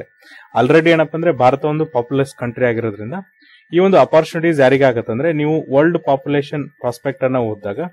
ಸೊಡ್ರಿ ವರ್ಲ್ಡ್ ಪಾಪ್ಯುಲೇಷನ್ ಪ್ರಾಸ್ಪೆಕ್ಟ್ ಅನ್ನ ಹೋದಾಗ ಕೆಲವೊಂದಿಷ್ಟು ದೇಶಗಳಲ್ಲಿ ಏನಪ್ಪ ಅಂದ್ರೆ ಯುವಕರ ಸಂಖ್ಯೆ ಕಮ್ಮಿ ಆಗ್ತಿದೆ.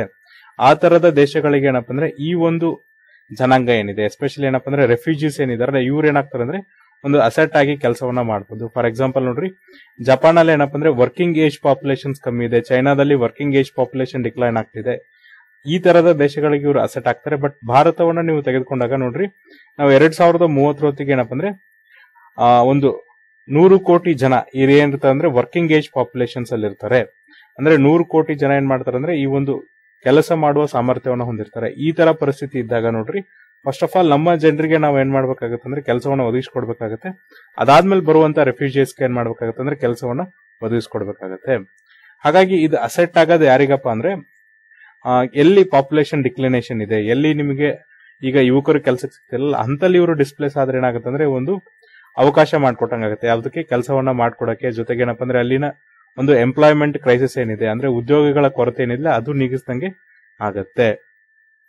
ಜಾಗತಿಕವಾಗಿ ನೋಡ್ರಿ, ಈ ಏನ್ ರೆಫ್ಯೂಜೀಸ್ ಬರ್ತಾರಲ್ಲ, ಇದೇನಾಗಿರುತ್ತೆ ಅಂದ್ರೆ ಕೇವಲ ಒಂದು ದೇಶದ ರೆಸ್ಪಾನ್ಸ್ ಆಗಿರಲ್ಲ, ಅಂತಾರಾಷ್ಟ್ರೀಯ ರೆಸ್ಪಾನ್ಸ್ ಆಗಿರುತ್ತೆ. ಜೊತೆಗೆ ಏನಪ್ಪ ಅಂದ್ರೆ ಯಾವೆಲ್ಲ ಕಂಟ್ರೀಸ್ ಹೋಸ್ಟ್ ಮಾಡ್ತಿರ್ತಾರಲ್ಲ, ಅವ್ರಿಗೆ ಸಪೋರ್ಟ್ ಅನ್ನ ಕೊಡ್ತಾರೆ. ಜೊತೆಗೆ ನೋಡ್ರಿ ಅವರು ಸೆಲ್ಫ್ ರಿಯಲೈನ್ಸ್ ಆಗ್ಬೇಕು, ಸ್ವಾವಲಂಬಿಗಳಾಗಬೇಕು, ಆ ತರನಾಗಿ ಪ್ರಮೋಟ್ ಅನ್ನ ಮಾಡ್ತಾರೆ ಜೊತೆಗೆ ಏನಪ್ಪ ಅಂದ್ರೆ ಲಾಂಗ್ ಟರ್ಮ್ ಸೊಲ್ಯೂಷನ್ಸ್ ಕೂಡ ಕೊಡ್ತಾರೆ. ಅಂದ್ರೆ ಆ ರೆಫ್ಯೂಜೀಸ್ನ ನೀವು ಒಂದು ರೀಸೆಟಲ್ಮೆಂಟ್ ಮಾಡ್ಕೋಬಹುದು ಅಂದ್ರೆ ಪುನರ್ ಸ್ಥಾಪಿಸಬಹುದು ಅಥವಾ ಪುನರ್ ಸ್ಥಳಾಂತರ ಮಾಡಬಹುದು ಅಥವಾ ಅವ್ರನ್ನ ಏನ್ ಮಾಡ್ಬೋದಪ್ಪ ಅಂದ್ರೆ ಅವ್ರದೇ ದೇಶಕ್ಕೆ ಸೇಫ್ ರಿಟರ್ನ್ಸ್ ಅನ್ನ ಮಾಡಬಹುದು ಸೊ ನಿಮಗೆ ಗೊತ್ತು, ಭಾರತದಿಂದ ಏನಪ್ಪ ಅಂದ್ರೆ ಬಂದಂತ ರೋಹಿಂಗಿಯಾಸ್ ಅನ್ನ ನಾವೇನ್ ಮಾಡಿದ್ವಿ ಅಂದ್ರೆ ಸೇಫ್ ರಿಟರ್ನ್ಸ್ ಅನ್ನ ಮತ್ತೆ ಎಲ್ಲಿ ಕಳ್ಸಿದೀವಪ್ಪ ಅಂದ್ರೆ ಮಯನ್ಮಾರಿಗೆ ಸೇಫ್ ರಿಟರ್ನ್ಸ್ ಅನ್ನ ಮಾಡಿದ್ವಿ. ಯಾಕಂದ್ರೆ ನಮ್ಮ ದೇಶದಲ್ಲೇ ಜನಸಂಖ್ಯೆ ಜಾಸ್ತಿ ಇದೆ. ನಮ್ಮ ದೇಶದಲ್ಲೇ ಯುವಕರು ಇದ್ದಾರೆ. ಇಲ್ಲಿ ನಮ್ಗೆ ಏನಪ್ಪ ಅಂದ್ರೆ ಈ ಅವಕಾಶಗಳು ಬರಲ್ಲ. ಬಟ್ ಇದೆಲ್ಲಿ ಹೆಲ್ಪ್ ಆಗುತ್ತೆ ಅಂದ್ರೆ ಎಲ್ಲಿ ಜನಸಂಖ್ಯೆ ಕಮ್ಮಿ ಇರುತ್ತೆ, ಎಲ್ಲಿ ಉದ್ಯೋಗ ಅವಕಾಶಗಳು ಜಾಸ್ತಿ ಇದ್ದು ಜನಸಂಖ್ಯೆ ಒಂದು ಡಿಕ್ಲೈನ್ ಆಗ್ತಿರುತ್ತೆ. ಅಂದ್ರೆ ಈಗ ನೋಡ್ರಿ ಜಾಗತಿಕ ವರ್ಲ್ಡ್ ಪಾಪ್ಯುಲೇಷನ್ ಪ್ರಾಸ್ಪೆಕ್ಟ್ ಅನ್ನ ತೆಗೆದುಕೊಂಡಾಗ ಜಗತ್ತಿನಾದ್ಯಂತ ಜನಸಂಖ್ಯೆ ಏನಾಗ್ತದೆ ಅಂದ್ರೆ ಡಿಕ್ಲಿನೇಷನ್ ಆಗ್ತಾ ಇದೆ. ನೋಡ್ರಿ ನೀವು ಭಾರತದ ತೆಗೆದುಕೊಂಡ್ರೆ ಟೂ ತೌಸಂಡ್ ಫಿಫ್ಟಿ ಹೊತ್ತಿಗೆ ನಮ್ಮಲ್ಲಿ ಏನಪ್ಪಾ ಅಂದ್ರೆ ಡಿಪೆಂಡೆನ್ಸಿ ರೇಷಿಯೋ ಜಾಸ್ತಿ ಇರುತ್ತೆ. ಅಂದ್ರೆ ಅವಲಂಬಿತರ ಸಂಖ್ಯೆ ಜಾಸ್ತಿ ಇರುತ್ತೆ. ಯಾಕಂದ್ರೆ ನಮ್ದು ಕೂಡ ಏನಾಗಿದೆ ಅಂದ್ರೆ ಟೋಟಲ್ ಫರ್ಟಿಲಿಟಿ ರೇಟ್ ಅನ್ನ ತೆಗೆದುಕೊಂಡಾಗ ಟೂ ಪಾಯಿಂಟ್ ಜೀರೋ ಬಂದಿದೆ. ನೋಡ್ರಿ ಟೂ ಪಾಯಿಂಟ್ ಜೀರೋ ಅನ್ನೋದು ಏನಪ್ಪ ಅಂದ್ರೆ ಬಿಲೋ ರಿಪ್ಲೇಸ್ಮೆಂಟ್ ಲೆವೆಲ್ ಬಂದಿದ್ದೀವಿ replacement level two point one but ಈಗ ಟೂ ಪಾಯಿಂಟ್ ಜೀರೋ ಬಂದಿರೋದ್ರಿಂದ ಏನಾಗುತ್ತೆ ಅಂದ್ರೆ ಮುಂದಿನ ಮೂವತ್ತು ವರ್ಷಗಳಲ್ಲೂ ಕೂಡ ಏನಂದ್ರೆ ನಮ್ಮಲ್ಲೂ ಕೂಡ ಅವಲಂಬಿತರ ಸಂಖ್ಯೆ ಜಾಸ್ತಿ ಆಗುತ್ತೆ. ಈಗ ನಮ್ಮಲ್ಲಿ ನೋಡ್ರಿ ಹೇರಳವಾಗಿ ಯುವಕರ ಸಂಖ್ಯೆ ಇರೋದ್ರಿಂದ ಇವರು ನಮಗೆ ಏನಾಗಲ್ಲ ಅಂದ್ರೆ ಅವಕಾಶಗಳಾಗಲ್ಲ. ಅಂದ್ರೆ ಇವರು ನಮಗೆ ಅಸೆಟ್ಸ್ ಆಗಲ್ಲ, ಬದಲಾಗಿ ಲಯಬಿಲಿಟೀಸ್ ಆಗ್ತಾರೆ. ಬಟ್ ಇದೆಲ್ಲ ಅಸೆಟ್ಸ್ ಆಗುತ್ತೆ ಅಂದ್ರೆ ಎಲ್ಲಿ ಜನಸಂಖ್ಯೆ ಕಮ್ಮಿ ಇರುತ್ತೆ, ಎಲ್ಲಿ ಪಾಪ್ಯುಲೇಷನ್ ಡಿಕ್ಲೈನ್ ಇರುತ್ತೋ ಅಲ್ಲಿ ಇವ್ರು ಏನಾಗ್ತಾರೆ ಅಂದ್ರೆ ಒಂದು ಅಸೆಟ್ ಆಗಿ ಕೆಲಸವನ್ನ ಮಾಡ್ತಾರೆ. ಹಾಗಾಗಿ ನೋಡ್ರಿ ನಾವೇನ್ ಮಾಡ್ಬೇಕಂದ್ರೆ ಎಲ್ಲರೂ ಕೂಡ ಇಕ್ವಿಟೇಬಲ್ ಬರ್ಡನ್ ಶೇರಿಂಗ್ ಅನ್ನ ಮಾಡ್ಕೋಬೇಕು. ಜೊತೆಗೆ ಏನ್ ರೆಸ್ಪಾನ್ಸಿಬಿಲಿಟಿ ಇದೆ ಅಂದ್ರೆ ನಿರಾಶ್ರಿತರಿಗೋಸ್ಕರ ನಾವೇನ್ ಜವಾಬ್ದಾರಿಗಳನ್ನ ಹೊತ್ಕೊಂಡಿದ್ವಲ್ಲ ಅದನ್ನ ನಿಭಾಯಿಸಬೇಕಾಗತ್ತೆ. ಜೊತೆಗೆ ನೋಡ್ರಿ ಅವರು ಕೂಡ ಚೆನ್ನಾಗಿರೋಂಗೆ ನಾವು ಕೆಲಸಗಳನ್ನ ಮಾಡ್ಬೇಕಾಗತ್ತೆ. ಅದಕ್ಕೋಸ್ಕರ ನೋಡ್ರಿ ಯಾವೆಲ್ಲ ಹೋಸ್ಟ್ ಕಂಟ್ರೀಸ್ ಇರ್ತಾರಲ್ಲ ಅವ್ರು ತುಂಬಾ ಏನಾಗ್ಬಿರುತ್ತೆ ಜನರಸ್ ಆಗಿರ್ಬೇಕಾಗಿರುತ್ತೆ. ಅಂದ್ರೆ ತುಂಬಾ ಅವ್ರು ಅಂದ್ರೆ ಕರುಣೆಯಿಂದ ಕೂಡಿರ್ಬೇಕು ಅಥವಾ ತುಂಬಾ ಅವರು ಜನರಸ್ ಆಗಿ ಕೆಲಸವನ್ನ ಮಾಡ್ಬೇಕಾಗತ್ತೆ. ಈ ತರನಾಗಿ ಮಾಡೋದ್ರಿಂದ ನೋಡ್ರಿ, ನಾವು ಪ್ರತಿಯೊಂದು ರೆಫ್ಯೂಜಿಗೂ ಕೂಡ ಏನ್ ಮಾಡ್ದಂಗಾಗತ್ತೆ ಅಂದ್ರೆ, ಅವನ ಪೊಟೆನ್ಶಿಯಲ್ ಏನಿದೆಯಲ್ಲ ಆ ಪೊಟೆನ್ಶಿಯಲ್ ಅನ್ನ ತಿಳಿಸ್ದಂಗಾಗತ್ತೆ ಸಚ್ ಆಸ್ ಅಹಮದ್. ಅಹಮದಿಗೆ ಯಾವ ತರನಾಗಿ ಅವನ ಪೊಟೆನ್ಶಿಯಲ್ ಗೊತ್ತಾತಲ್ಲ, ಆ ತರದ ಪೊಟೆನ್ಶಿಯಲ್ ತಿಳಿಸ್ದಂಗಾಗತ್ತೆ ಹಾಗಾಗಿ ನೋಡ್ರಿ, ಪ್ರತಿಯೊಬ್ರು ಕೂಡ ಏನಪ್ಪ ಅಂದ್ರೆ ಒಂದು ಹೋಪ್ ಇರುತ್ತೆ. ನಮಗೂ ಕೂಡ ಒಳ್ಳೇದಾಗ್ಬೋದು. ನಾವು ಈ ದೇಶ ಬಿಟ್ಟು ಬಂದ್ಮೇಲೆ ಈ ದೇಶ ಕೈ ಹಿಡಿಬಹುದು ಆ ಹೋಪ್ ಅನ್ನ ಉಳಿಸ್ಕೋಬೇಕು ಜೊತೆಗೆ ಅವ್ರಿಗೆ ಅಪರ್ಚುನಿಟೀಸ್ ಕೂಡ ನಾವು ಮಾಡ್ಕೊಡ್ಬೇಕಾಗತ್ತೆ. ಹಾಗಾಗಿ ನೋಡ್ರಿ, ನಾವೇನಪ್ಪ ಅಂದ್ರೆ ವರ್ಲ್ಡ್ ರೆಫ್ಯೂಜಿ ಡೇ ಅನ್ನ ಸೆಲೆಬ್ರೇಟ್ ಮಾಡ್ತಿದ್ವಲ್ಲ ಎಲ್ಲರೂ ಕೂಡ ನಾವೇನ್ ಮಾಡೋದಂದ್ರೆ ಕಮಿಟ್ಮೆಂಟ್ ಅನ್ನ ಹಾಕೊಳ್ಳೋಣ. ಒಬ್ರಾಗಿ ಇಲ್ಲಿ ನಿಲ್ಲೋಣ. ಅಂದ್ರೆ ಎಲ್ಲರೂ ಕೂಡ ನಮ್ಮೂರು ಅಂತ ನಿಲ್ಲೋಣ. ನೋಡ್ರಿ, ಯಾರೆಲ್ಲ ಡಿಸ್ಪ್ಲೇಸ್ಡ್ ಇರುತ್ತೆ ಪರ್ಸನ್ಸ್ ಇರ್ತಾರೆ, ಯಾರೆಲ್ಲ ನಿರಾಶ್ರಿತ ಇರ್ತಾರಲ್ಲ, ಅವರ ಸ್ಟ್ರೆಂತ್ ಏನಿದೆ ಅಂದ್ರೆ ರೆಕಗ್ನೈಸ್ ಮಾಡಕ್ ಬಿಡೋಣ. ಜೊತೆಗೆ ನೋಡ್ರಿ, ಅವ್ರಿಗೂ ಕೂಡ ಒಂದು ಹೋಪ್ ಅನ್ನ ಕೊಡೋಣ. ಜೊತೆಗೆ ಅವ್ರ ಅನ್ಟ್ಯಾಪ್ಡ್ ಪೊಟೆನ್ಷಿಯಲ್ ಕೂಡ ಗುರುತು ಮಾಡೋಣ. ಇದರಿಂದ ನೋಡ್ರಿ, ಏನೇನ್ ಬ್ಯಾರೇಟ್ಸ್ ಇದೆ, ಅಂದ್ರೆ ಏನೇನ್ ನಿಬಂಧನೆಗಳು ಇರುತ್ತಲ್ಲ, ಆ ನಿಬಂಧನೆಗಳನ್ನ ತೆಗೆದಾಕ್ತಂಗಾಗತ್ತೆ ಹೀಗಾಗಿ ನೋಡ್ರಿ, ಬಂದಂತ ಜನಕ್ಕೂ ಕೂಡ ಏನಪ್ಪಾ ಅಂದ್ರೆ ಕೆಲವೊಂದಿಷ್ಟು ಅವಕಾಶಗಳು ಸಿಗುತ್ತೆ. ಜೊತೆಗೆ ಅವ್ರು ಏನ್ ಮಾಡ್ಬೋದಪ್ಪ ಅಂದ್ರೆ ಡಿಗ್ನಿಟಿಯಿಂದ ಬದುಕಬಹುದು ಅಂದ್ರೂ ಅವರು ಕೂಡ ಇಲ್ಲಿ ಏನಪ್ಪಾ ಅಂದ್ರೆ ಭಾರತದಲ್ಲಿ ಬದುಕಬೇಕಾರೆ ಅಥವಾ ಬೇರೆ ದೇಶಗಳಲ್ಲಿ ಬದುಕಬೇಕಾರೆ ಒಂದು ಡಿಗ್ನಿಟಿಯಿಂದ ಬದುಕಬಹುದು ಸೊ ಯಾರೇ ಆಗಿದ್ರು ಕೂಡ ನಾವೇನ್ ಮಾಡ್ಬೋದು ಅಂದ್ರೆ ಅವರಿಗೆ ಡಿಗ್ನಿಟಿಯಿಂದ ಬದುಕಕ್ಕೆ ಅವಕಾಶವನ್ನ ಮಾಡಿಕೊಡ್ಬೇಕು. ಅದು ಈ ಒಂದು ವಿಶ್ವ ನಿರಾಶ್ರಿತರ ದಿನ ವರ್ಲ್ಡ್ ರೆಫ್ಯೂಜಿಸ್ ಡೇ ಇದೆ ಏನಪ್ಪಾ ಅಂದ್ರೆ ಮುಖ್ಯ ಉದ್ದೇಶವಾಗಿರುತ್ತೆ. ಸೊ ನಾನು ಆಗ್ಲೇ ಹೇಳ್ದಂಗೆ refugees is an asset for those countries which have declination in population growth ಅಂದ್ರೆ ಎಲ್ಲಿ ನಿಮ್ಗೆ ಜನಸಂಖ್ಯೆಯಲ್ಲಿ ಒಂದು ಡಿಕ್ಲೈನ್ ಆಗ್ತಿದೆಯಲ್ಲ, ಅಲ್ಲಿ ಅವ್ರು ಅಸೆಟ್ ಆಗ್ತಾರೆ but not for the Bharat. Because ನಮ್ಮಲ್ಲಿ ಯುವಕರ ಸಂಖ್ಯೆ ಜಾಸ್ತಿ ಇರ್ಬೇಕಾದ್ರೆ ಅದು ನಮಗೆ ಅಸೆಟ್ ಆಗಲ್ಲ, ಬದಲಾಗಿ ಲಯಬಿಲಿಟೀಸ್ ಆಗುತ್ತೆ. So it's my personal view so ನೋಡ್ರಿ, ಇದೇ ತರನಾಗಿ ಏನ್ ಮಾಡ್ತಿರ್ತೀವಿ ಅಂದ್ರೆ ನಾವು ಈ ಆರ್ಟಿಕಲ್ಸ್ ಅನ್ನ ಅನಲೈಸ್ ಮಾಡ್ತಿರ್ತೀವಿ. ಸೊ ಇದು ಏನಪ್ಪಾ ಅಂದ್ರೆ ಇವತ್ತಿನ ಒಂದು ಹಿಂದೂ ಅನಾಲಿಸಿಸ್ ನಾಳೆ ಮತ್ತೊಂದಿಷ್ಟು ಆರ್ಟಿಕಲ್ಸ್ ಮತ್ತೆ ಎಡಿಟೋರಿಯಲ್ ಡಿಸ್ಕಸ್ ಮಾಡೋಣ. ಅಲ್ಲಿವರೆಗೂ ನೋಡ್ತಾ ಇರಿ classic education YouTube channel thank you